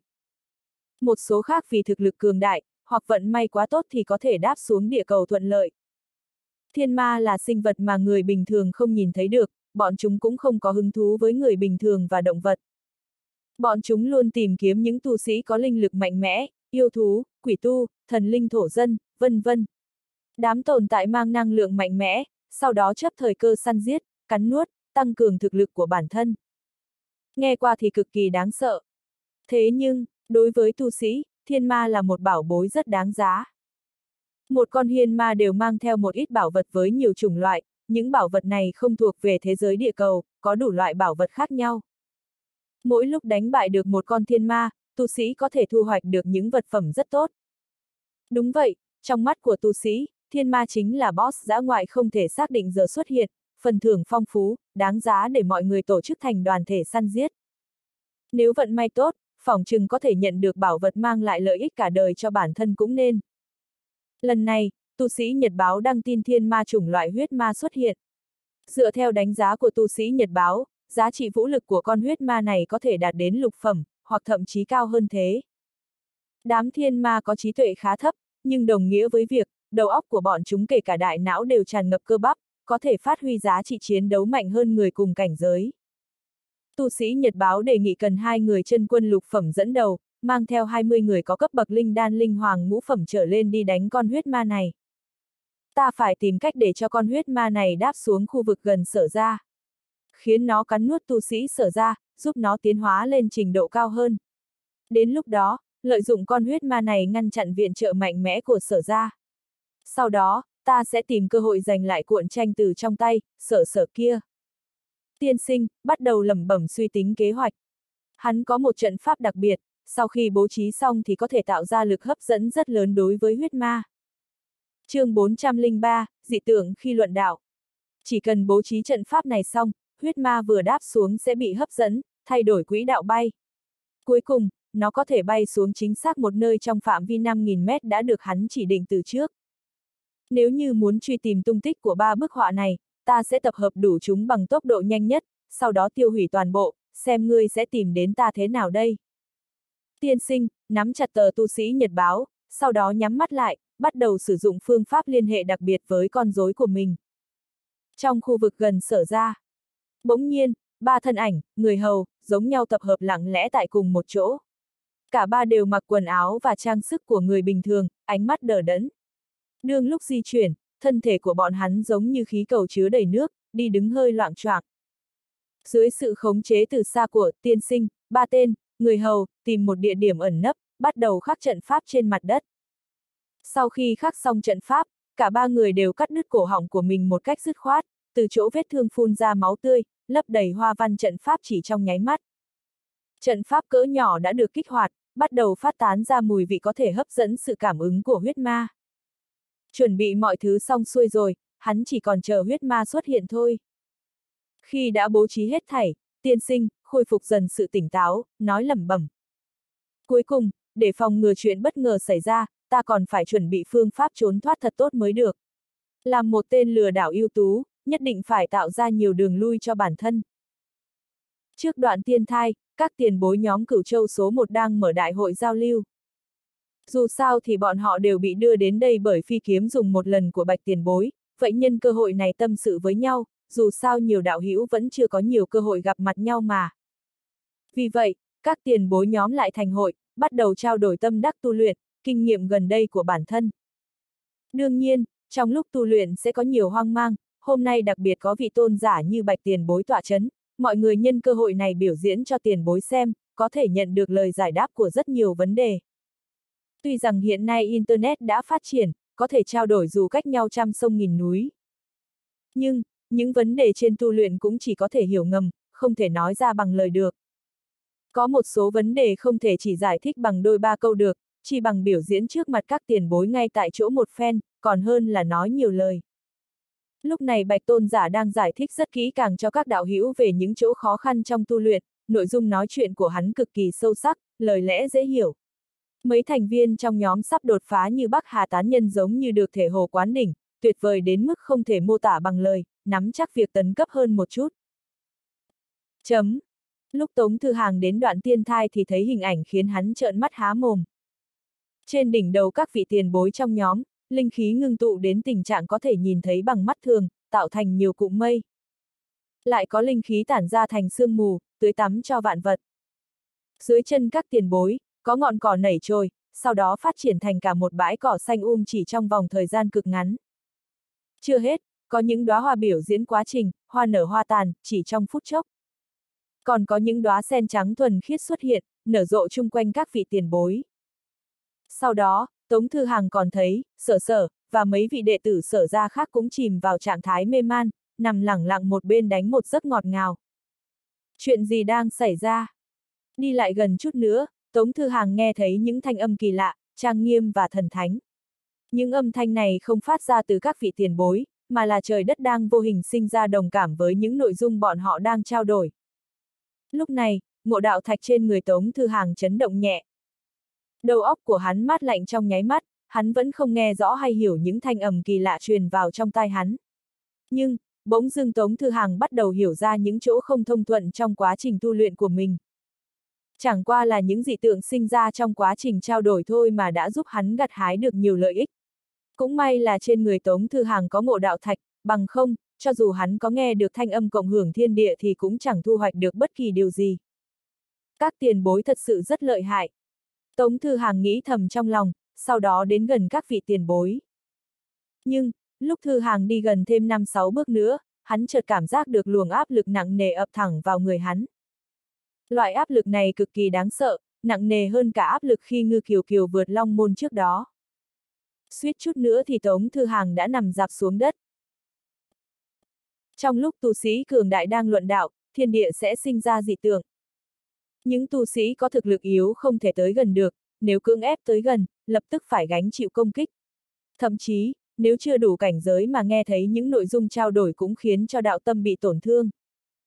Vì vậy, những tiền bối trong nhóm mới khiến cho các đệ tử sở ra tiến vào trạng thái hôn mê, tránh để chuyện này ảnh hưởng đến đệ tử sở ra. Tống Thư Hàng mới tiếp xúc với tu sĩ chẳng bao lâu, làm sao mà biết được mấy chuyện này. Cũng may, bởi vì Bạch Tôn giả cảm giác được có người đến gần nên đã dừng việc giảng giải, hắn xoay đầu nhìn về phía Tống Thư Hàng. Thấy Tống Thư Hàng đã trở về, Bạch Tôn giả cười khẽ, vẫy vẫy tay với Tống Thư Hàng. Ngay tức khắc, Tống Thư Hàng cảm thấy thân thể mình nhẹ bẫng ngay lập tức, tất cả áp lực đều biến mất không thấy tung tích. Hắn thở phào nhẹ nhõm, chạy chậm đến bên cạnh Bạch Tôn giả, ngồi xuống bên cạnh Tôn giả. Nhóm tiền bối mỉm cười liếc nhìn Tống Thư Hàng, sau đó bắt đầu tiếp tục tiến hành thảo luận. Nội dung thảo luận của bọn họ quá mức cao thâm, với thực lực hiện nay của Tống Thư Hàng không thể hiểu được. Tống Thư Hàng nghe thử một đoạn, cảm thấy bản thân như đang ngắm hoa trong sương mù, đầu váng mắt hoa như sắp nổ tung, hắn đành phải thôi. Sau khi suy nghĩ một lúc, hắn lấy ngộ đạo thạch ra, sau đó ngồi ngẩn người bên cạnh bạch tôn giả nếu đặt ngộ đạo thạch trong tay sẽ mang lại hiệu quả tốt hơn khi giữ nó trong túi áo. Bởi vì những tiền bối chung quanh hắn đều nằm trong nhóm cửu châu số 1, Tống Thư Hàng mới dám móc ngộ đạo thạch ra ngoài. Ngộ đạo thạch tạo ra một ít, cộng hưởng đại đạo, giữa cuộc thảo luận của các tiền bối, chúng hóa thành đủ loại lĩnh ngộ kỳ lạ, rót vào đầu Tống Thư Hàng.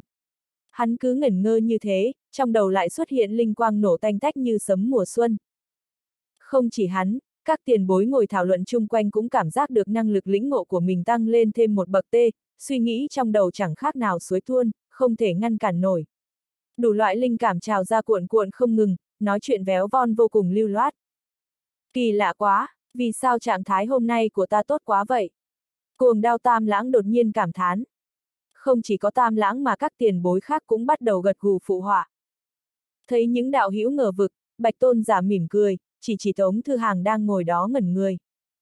Mấy vị tiền bối nhìn về phía Tống Thư Hàng, sau đó, nhìn xuống tảng đá xấu xí có nhánh hành tây non trên tay hắn. Tảng đá này rất bình thường mà, chẳng lẽ nó lại có nguồn gốc đặc biệt nào sao? Bắc Hà tán nhân nhíu mày, đột nhiên hỏi dò. Ngộ đạo thạch. Ừ. Bạch tôn giả cười gật đầu. Cổ hà quan chân quân cảm thán. Ngộ đạo thạch à, hèn gì, ta lại cảm thấy trạng thái của mình quá tốt rồi. Ồ, khoan đã nào, tiểu hữu thư hàng có ngộ đạo thạch à. Bạch tôn giả gật đầu lần nữa. Hoàng Sơn chân quân, Bắc Hà Tán Nhân, Cuồng Đao Tam Lãng, nhiều vị tiền bối khác. Vốn dĩ khi bọn họ thảo luận tiền lì xi cho tiểu hữu Tống Thư Hàng, số lượng thu hoạch của hắn trong cảnh giới nhất phẩm đã khiến người ta bó tay lắm rồi. Không ngờ, ngay cả thứ đồ như ngộ đạo thạch cũng nằm trong tay hắn. Trong giới tu sĩ, ngộ đạo thạch luôn được mệnh danh là công cụ, hách, có tiếng rồi. Tuy rằng khi đẳng cấp của tu sĩ tăng lên, hiệu quả của ngộ đạo thạch càng ngày càng yếu. Nhưng, khi có nhiều tu sĩ ở cùng một chỗ đàm đạo như hôm nay, cho dù ngộ đạo thạch chỉ mang lại một tia năng lực, ngộ tính, nho nhỏ thôi nhưng cũng đủ để các tiền bối cấp cao thu được nhiều lợi ích rồi. Đôi khi trong lúc luận đạo, bọn họ chỉ còn một tia nữa thì đã ngộ ra, đâm thủng tầng giấy cuối cùng. Phúc duyên của tiểu hữu thư hàng thực sự quá sâu dày. Hoàng Sơn chân nhân ngồi cả buổi trời, chỉ có thể than thở như thế. Hay là, sau khi thăng cấp đến cảnh giới tôn giả, năng lực số mệnh của bạch tiền bối đã chuyển từ trình độ, nghịch thiên, sang trình độ, áp thiên, luôn rồi. Hai loại trình độ này khác nhau ở chỗ, thật đáng giận, ta muốn nghịch thiên đây. Và, chật chật, hôm nay ta sẽ đặt thiên, vào lòng bay tay để chơi đùa một chút, vậy đấy. Sau khi biết rõ tiểu hữu Tống Thư Hàng có ngộ đạo thạch, e rằng sau này nhà của Tống Thư Hàng sẽ nghênh đón rất nhiều vị khách. Đến lúc cần thiết, các đạo hữu trong nhóm sẽ làm khách tại nhà Tống Thư Hàng một khoảng thời gian. Thậm chí nếu tiểu hữu Tống Thư Hàng đồng ý, cứ sau một khoảng thời gian, bọn họ đến thuê ngộ đạo thạch, tạo ra tiền lời ổn định cho hắn. Tài vật làm đỏ mắt người, các đạo hữu trong nhóm biết việc Thư Hàng có ngộ đạo thạch là được rồi, đừng truyền tin tức này ra ngoài. Bắc Hà tán nhân nhắc nhở, hắn là một tán nhân, biết rõ bảo vật vừa là phúc duyên và cũng là nguyên nhân của mọi tai nạn. Các đạo hữu trong nhóm đều là người hiểu chuyện, nếu tin tức này lan ra bên ngoài, một truyền hai, hai truyền ba, không thể bảo đảm được tin tức này không lọt vào tai kẻ có ý xấu. Đương nhiên rồi, các đạo hữu ở đây đều là người từng trải, đương nhiên hiểu rõ phải làm thế nào. Cuồng đam tam lãng tin tưởng. Cũng may mà nhóm cửu châu số 1 là một nhóm tu sĩ rất đặc biệt. Ta nói mấy lời này không chỉ nhắc nhở mọi người, mà còn muốn nhắc nhở cả tiểu hữu thư hàng nữa. Bắc Hà tán nhân nhìn sang Tống Thư Hàng, dặn dò. Thứ đầu như ngộ đạo thạch cực kỳ quý giá, vượt xa những gì ngươi đã tưởng tượng. Vì thế, đừng bao giờ để lộ ra trước mặt mọi người, tránh để người nảy ra ý đồ xấu. Cảm ơn Bắc Hà tiền bối đã quan tâm, ta hiểu rõ chuyện này mà. Giọng điệu Tống Thư Hàng rất chân thành bởi vì chung quanh hắn là các tiền bối nhóm cửu châu số 1, đệ tử sở ra đều lâm vào trạng thái hôn mê nên hắn mới dám mang ngộ đạo thạch ra ngoài. Phải biết rằng, trước đó thông nương tham lam ngộ đạo thạch của hắn nên có ý định cướp bóc, nếu không phải vì thông nương quá vô dụng, phỏng chừng hắn đã đánh mất ngộ đạo thạch rồi. Vì thế, Tống Thư Hàng xử sự rất cẩn thận ở phương diện này. Ngươi hiểu là được rồi. Bắc Hà Tán Nhân nói. Sau đó, mượn nhờ hiệu quả của ngộ đạo thạch, các tiền bối nhóm cửu châu số một trao đổi với nhau rất lâu. Nhiều vị đạo hữu giải quyết được hết những ngờ vực trong lòng mình, sau đó kết thúc việc luận đạo với thái độ vô cùng hài lòng. Những lúc thế này, nếu có thêm ấm trà ngon thì quá tuyệt vời rồi. Cổ Hà Quan chân quân nói. Ta lại thấy, lúc này cần phải có một tên da dày thịt béo nào đó làm đối tượng luyện đao cho ta. Hiện tại ta có rất nhiều linh cảm, tay cầm đao của ta đã ngứa ngáy lắm rồi. chương 404, nhóm tiền bối dọn quái. Đối tượng luyện đao à? Nghe Tam Lãng nói vậy, ta lại nhớ đến một việc. Bắc Hà tán nhân cất tiếng, lấy tờ tu sĩ Nhật báo ra chỉ vào một mẩu tin. Tu sĩ Nhật báo đã từng đề cập đến một con huyết ma sắp đáp xuống, rất có thể nơi đó là khu vực Tây Bắc nước Hoa Hạ chúng ta, cũng chính là khu vực của chúng ta đấy. Nếu tính toán thời gian thì nó cũng sắp đáp xuống rồi. Giả sử vận may của chúng ta quá tốt, có khi nó sẽ đáp xuống ở một chỗ gần đây cũng chưa biết chừng. Ánh mắt cuồng đao tam lãng lập tức sáng lên. Huyết ma hả, đẳng cấp khoảng bao nhiêu? Nếu như chỉ đạt đến trình độ tam phẩm, tứ phẩm thì cũng chả chống lại được một đao của ta ấy chứ. Uy lực của thất thập nhị lộ khoái đao của cuồng đao tam lãng có một không hai, trong nhóm đạo hữu cấp bậc linh hoàng ngũ phẩm. Ngoại trừ tô thì A thất thì hắn không sợ một ai. Hắn chỉ cần dùng một đao thì đã có thể giải quyết thiên ma tam phẩm, tứ phẩm rồi. Có thể thỏa mãn yêu cầu của người đó, dự đoán sơ bộ thì đẳng cấp của huyết ma khoảng lục phẩm, với thể chất của thiên ma, cho dù lục phẩm sơ giai thì chúng cũng có thể phát huy lực công kích gần tương đương với lục phẩm đỉnh cao rồi. Đáng tiếc là IQ hơi thấp, cả người đầy thực lực mà không phát huy tối đa được. Con huyết ma này da dày thịt béo, rất phù hợp với nguyện vọng của ngươi. Bắc Hà tán nhân giơ tờ tu sĩ nhật báo lên, cười ha ha. Khi cuồng đao tam lãng nghe đến đó thì hai mắt của hắn đã tỏa sáng. Nếu con huyết ma này mà đáp xuống chỗ gần chúng ta thì quá tốt rồi. Đúng là không có đối tượng luyện đao nào tuyệt vời bằng huyết ma cả. Tuy rằng đẳng cấp của nó hơi cao, đến cảnh giới lục phẩm nhưng cũng chẳng phải là vấn đề gì lớn. Hiện tại có rất nhiều đạo hữu nhóm cửu châu số 1 ở đây đó, không chỉ có tiền bối thất phẩm như bạch tôn giả chấn giữ, còn có vài vị đạt đến cảnh giới chân quân lục phẩm nữa. Nếu con huyết ma này rơi xuống khu vực cạnh bọn họ, vừa hay để bọn họ đánh một trận. Hắc hắc, nếu đã như thế, tam lãng người cầu nguyện cho huyết ma đáp xuống khu vực gần chúng ta đi. Tuyết lang động chủ trêu ghẹo. Cuồng đao tam lãng đột nhiên tỉnh ngộ. Sau đó, trong nhóm cửu châu số 1, tam lãng lấy một lư hương nhỏ ra, sau đó thắp hương, dùng vẻ mặt cực kỳ nghiêm túc thắp hương trước bạch tôn giả, bắt đầu cầu nguyện. Bạch tôn giả. Hắn có cảm giác, các đạo hữu trong nhóm không hề nói sai tẹo nào. Trên lĩnh vực tự tìm được chết, não của cuồng đao tam lãng thuộc hạng con cá vàng, chỉ có trí nhớ 3 giây mà thôi. Trên bầu trời xa xa, một con hiên ma đáng yêu đang giáng xuống từ trên cao. Con thiên ma này thuộc nhánh huyết ma, cũng là chủng loại rất mạnh bên trong các thiên ma. Thành phần chính cấu tạo nên cơ thể nó là máu, giúp nó miễn dịch hầu hết các tấn công vật lý, năng lực tự hồi phục cũng thuộc hàng tuyệt hảo. Hơn nữa, trong chiến đấu, chỉ cần kẻ địch của nó bị thương đổ máu, huyết ma sẽ tự khởi động thiên phú hấp huyết hút máu của mình, hút sạch máu của kẻ địch, dung nhập chúng vào cơ thể. Một là có thể hồi phục về thương của bản thân, hai là có thể gia tăng thực lực. Chính vì thiên phú hấp huyết quang hoàn này mà huyết ma được mệnh danh là một trong những chủng loại thiên ma khó đối phó. Chỉ số thông minh của thiên ma rất kém, não của bọn chúng không có hệ thống tư duy, thậm chí còn thua cả loài thú hoang dã. Huyết ma lại còn là một chủng thiên ma thiếu IQ nhất trong đám. Có lẽ bởi vì trong đầu nó chỉ toàn là huyết tương nên không có óc trăng. Trong trí nhớ của nó, hoàn toàn không có khái niệm, đi từ đâu, muốn đi đâu, bọn chúng chỉ xuất hiện, sau đó tìm một chỗ nào đó rồi đáp xuống. Tiếp đó, nó sẽ tìm thức ăn, ăn no nê. Rồi khi có được nguồn thức ăn sung túc, nó sẽ lai tiến hóa. Quá trình này cứ lặp đi lặp lại, mãi cho đến khi chúng bị tiêu diệt thì mới chấm dứt. Con huyết ma này có hình người, cao 15 mét, nhìn như một con người được tạo thành từ thủy ngân màu đỏ, thậm chí có thể thấy được huyết dịch đang chảy, lay động thành từng vòng tròn sóng nước. Lúc này nó có cơ thể lại thành một khối giống như quả cầu, bắt đầu đáp xuống từ bầu trời. Lăn lăn lộn lộn, huyết ma bỗng dưng ngửi được hương vị rất dễ chịu. Mùi vị này mang lại sự hấp dẫn tột cùng đối với nó. Sau đó, huyết ma điều chỉnh quỹ đạo của mình theo bản năng, chuẩn bị đáp xuống nơi có mùi vị ngon lành kia. Thời gian dần trôi qua. Ánh mắt nhạy bén của tuyết lang động chủ bất ngờ phát hiện được một chấm đỏ đang bay xuống từ trên cao. Ơ, có phải cái đó là huyết ma không thế? Địch, con sói mẹ nó chứ? Sao chẳng lẽ huyết ma đáp xuống nơi đây thật à? Tuyết lang muốn chửi, con mẹ nó, nhưng nó vốn là một con sói cho nên. Hóa ra cầu nguyện trước bạch tiền bối lại linh nghiệm đến vậy hả? Thế thì, ta có nên cầu nguyện không nhỉ? Cầu bạch tiền bối chúc phúc ta, giúp ta thăng cấp lục phẩm vào năm sau. Thôi được rồi, hay là thôi đi. Chuyện thăng cấp này chỉ dựa vào bước chân của mình thì mới ổn thỏa được. Ha ha ha ha, con huyết ma này đến thật rồi kìa.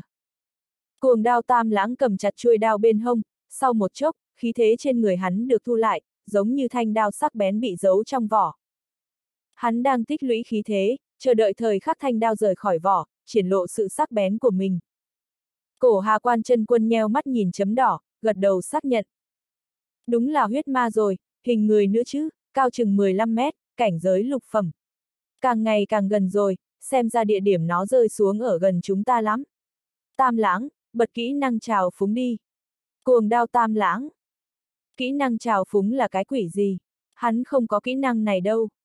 Hoàng Sơn tiền bối, người kéo huyết ma qua đây đi, sau đó chúng ta đánh nó, thế nào? Đông phương tiên tử đạp hư không bay lên, ống tay áo đón gió tung bay. Nhân lúc cô nhàm chán rảnh rỗi, hơn nữa, vừa rồi luận đạo, không chỉ có tam lãng mà tất cả các đạo hữu ở đây đều thu được rất nhiều ích lợi, nhiều người đã ngứa tay cả rồi. Được, các ngươi chuẩn bị đi, ta đi dụ quái, quăng lưới chờ đợi. Hoàng Sơn chân quân gật đầu nói.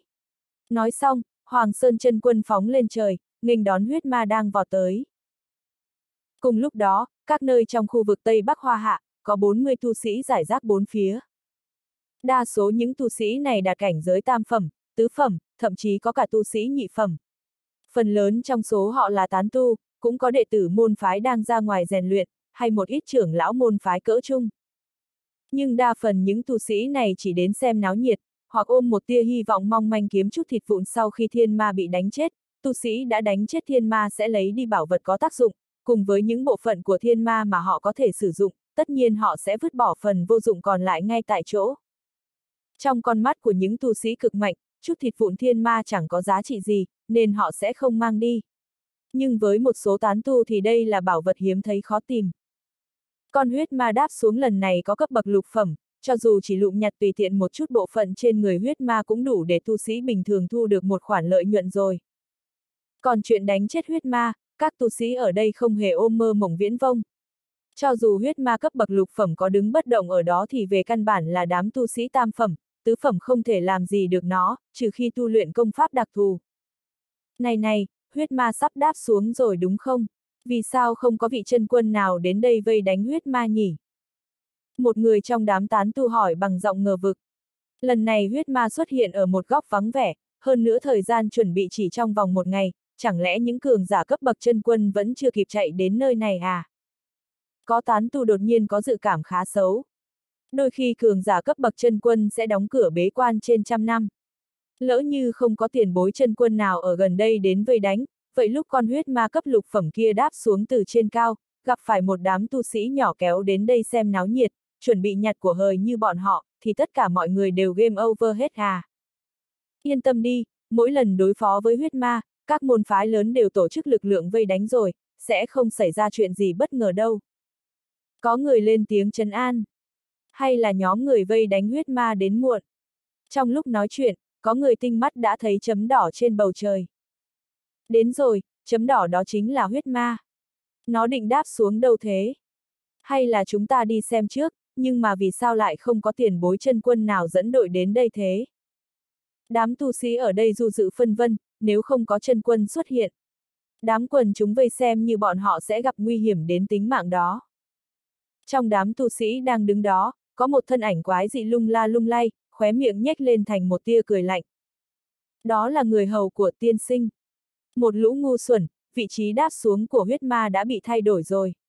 Trước khi đội ngũ chân quân đến đây, đám người các ngươi sẽ thành thức ăn cho huyết ma, trở thành năng lượng giúp nó tiến hóa. Tiên sinh, lợi dụng thị giác của con rối người hầu để đánh giá hiện trường, trong lòng nhe răng cười nham hiểm. Huyết ma, đáp xuống đi, khối loạn thế giới này long trời lở đất luôn đi. Con rối người hầu vươn tay lên trời, bày ra tư thế vô cùng đẹp trai. Nhưng mà, ngay lúc đó, một cái lưới lớn đột nhiên xuất hiện trên bầu trời, bao phủ lấy huyết ma. Huyết ma chưa né tránh kịp thì đã bị cái lưới lớn tóm lấy. Lưới lớn co lại, huyết ma cố sức liều mạng dẫy ra.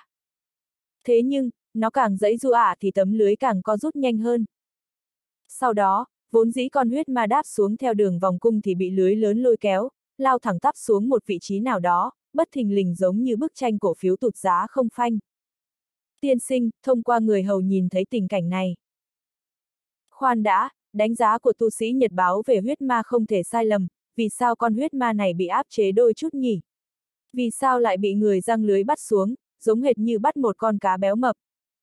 Không được, hắn phải đi một chuyến xem sao.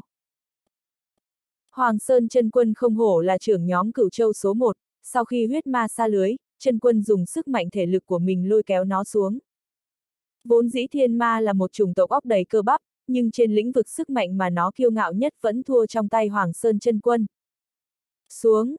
Hoàng Sơn chân quân hạ xuống vị trí thích hợp, sau đó ném tấm lưới đang túm huyết ma xuống dưới. ầm, um, Huyết ma đập xuống đất, cuốn theo bụi bặm đầy trời. Giống, giống, giống. Huyết ma leo ra khỏi hố đất, gào thét đầy hung dữ, nó bị chọc giận triệt để rồi. Hoàng Sơn chân quân không đáp xuống, vẫn tiếp tục chấn giữ trên bầu trời. Cổ Hà Quan chân quân mỉm cười, lúc Hoàng Sơn chân quân đi dụ quái, hắn đã bố trí một trận pháp lớn chung quanh đoạn tiên thai dùng để bao vây huyết ma, lại phòng ngừa công kích của các đạo hữu phá hỏng quá nhiều cảnh vật chung quanh. Tuyết lang, đi lên đống băng đi, ta tới đây. Tam lãng đã chuẩn bị sẵn sàng từ sớm, hắn hét lớn, phóng lên trời. chương 405, bị các đạo hữu cho ra rìa rồi à? Bởi vì huyết ma có thực lực lục phẩm, thủ cao máu dày, cuồng đao tam lãng ra tay không kiêng nể gì. Muốn chém thì chém, chém đến sung sướng sảng khoái tinh thần. Đao, ra khỏi vỏ.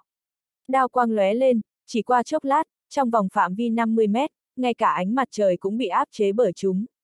Trong 50 mét này, không ai có thể thấy được bất kỳ thứ gì, ngoại trừ. Đao quang do cuồng đao tam lãng chém ra. Đao quang nhanh đến mức tận cùng. Đao đạo của tam lãng chính là, nhanh, nhanh cực hạn.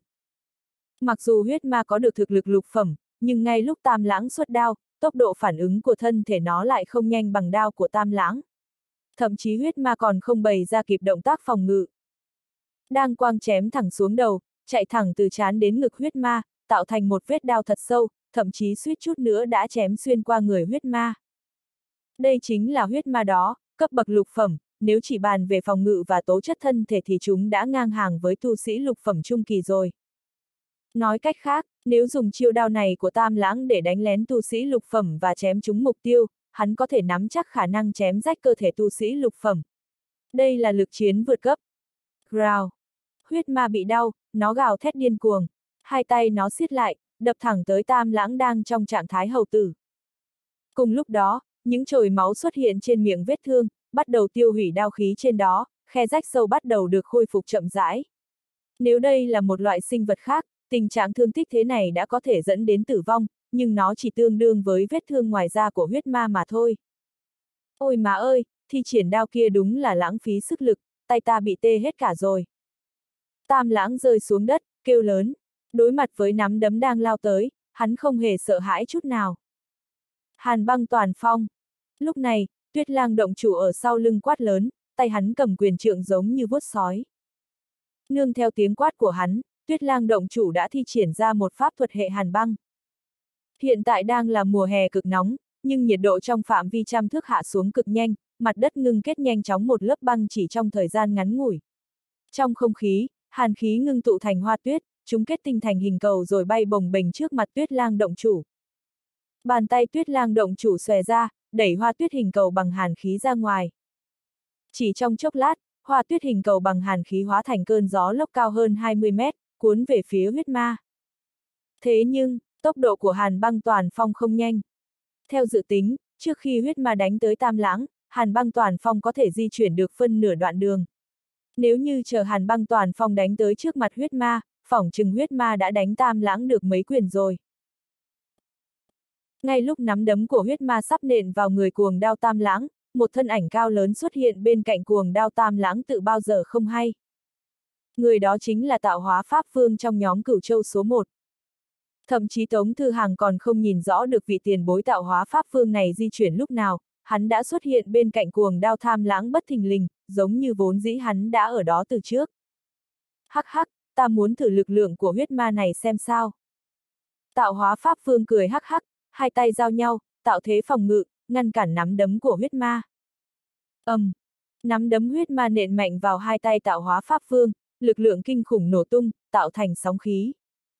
Cả người tạo hóa pháp phương như một cây đinh, công kích đã nện nửa người hắn xuống dưới mặt đất. Xì, cũng mạnh đó. Lực lượng này quá mãnh liệt, ẩn chứa 10 phần kinh lực. Tạo hóa pháp phương cười hắc hắc, cả một mảng lớn trên cánh tay bị bầm đen. Người có chịu được không đó? Nếu không được thì bùng nổ đi. Cuồng đao tam lãng ngồi xổm bên cạnh hắn, cha bảo đao vào bao, ngưng tụ đao thế lần nữa. Giống giống giống giống giống.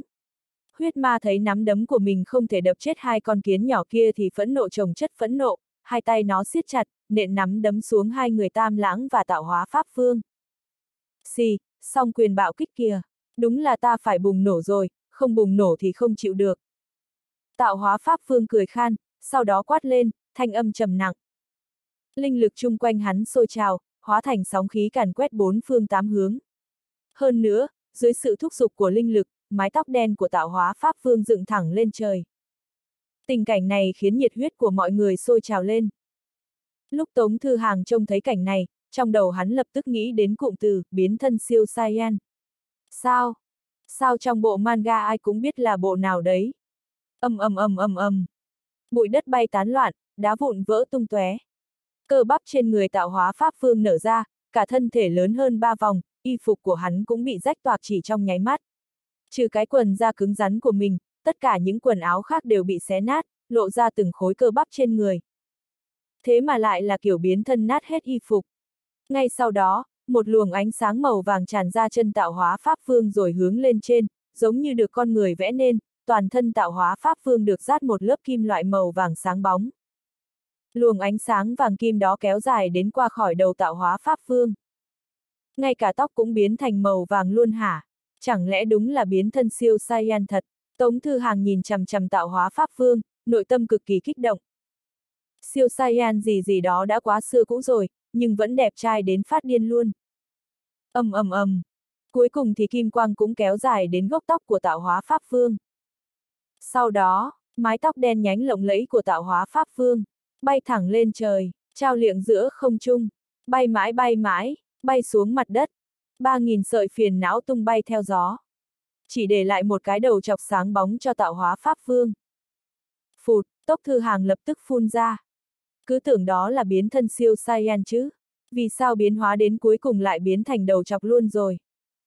Bởi vậy, ta không quá thích chân thân chiến Phật, mỗi lần biến thân đều rách quần rách áo, lại còn mất hết tóc.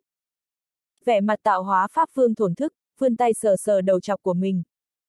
ầm, um, trên đỉnh đầu, hai tay huyết ma hợp lại thành một quyền, nện xuống thật mạnh. Lần này, tạo hóa pháp vương không dùng tay chống cự, cứ dùng chính cái đầu của mình kháng cự với nắm đấm của huyết ma. Nắm đấm cực lớn nện lên cái đầu sáng bóng màu vàng của tạo hóa pháp vương. Keng! Tiếng rèn sắt vang lên. Sóng khí nổ tung lần nữa, thậm chí còn khủng bố hơn một quyền trước đó gấp mấy lần. Sau khi quyền đập xuống, khi nắm đấm của huyết ma nện vào cũng chỉ làm cho đầu tạo hóa pháp phương bị lệch nghiêng sang một bên, phát ra tiếng gân cốt giòn vang. Tốt quá, một quyền này cũng rất mạnh, vừa đánh vào mà cả người ta đã cảm thấy dễ chịu khoan khoái rồi. Tạo hóa pháp phương chật lưỡi khen ngợi. Mạnh thật. Tống Thư Hàng cảm thán, một quyền uy phong của huyết ma đập thẳng lên đầu tạo hóa tiền bối, ấy vậy mà chỉ khiến đầu hắn lệch nghiêng sang một bên thôi à. Thực lực của vị tiền bối tạo hóa pháp phương này chỉ đạt cấp bậc linh hoàng ngũ phẩm thật à. Bên cạnh Tống Thư Hàng, Lạc Trần chân Quân mỉm cười, giải thích cho hắn hiểu. Đừng quá kinh ngạc, mức độ công kích cỡ này chỉ mới đạt tới mức làm nóng người cho tạo hóa đạo hữu thôi. Tạo hóa đạo hữu đang tu luyện chiến Phật chân thân của đấu chiến Phật Tông, đây là công pháp đứng trong top 10 công pháp thể tu của giới tu sĩ đó. Tu luyện môn công pháp này cực kỳ khó. Với tư chất của tạo hóa đạo hữu, nếu như hắn tu luyện công pháp khác, phỏng chừng hắn đã đạt đến cảnh giới chân quân giống ta từ sớm rồi. Mà hiện giờ, tuy rằng hắn chỉ đạt cảnh giới linh hoàng ngũ phẩm, nhưng dưới sự gia trì của chiến Phật chân thân thì đã đạt đến mức độ của một cường giả cấp bậc chân quân lục phẩm rồi. Thậm chí, hắn còn mạnh mẽ hơn cả những chân quân lục phẩm bình thường. Nói cách khác, đây lại là một vị tiền bối có chiến lực vượt cấp.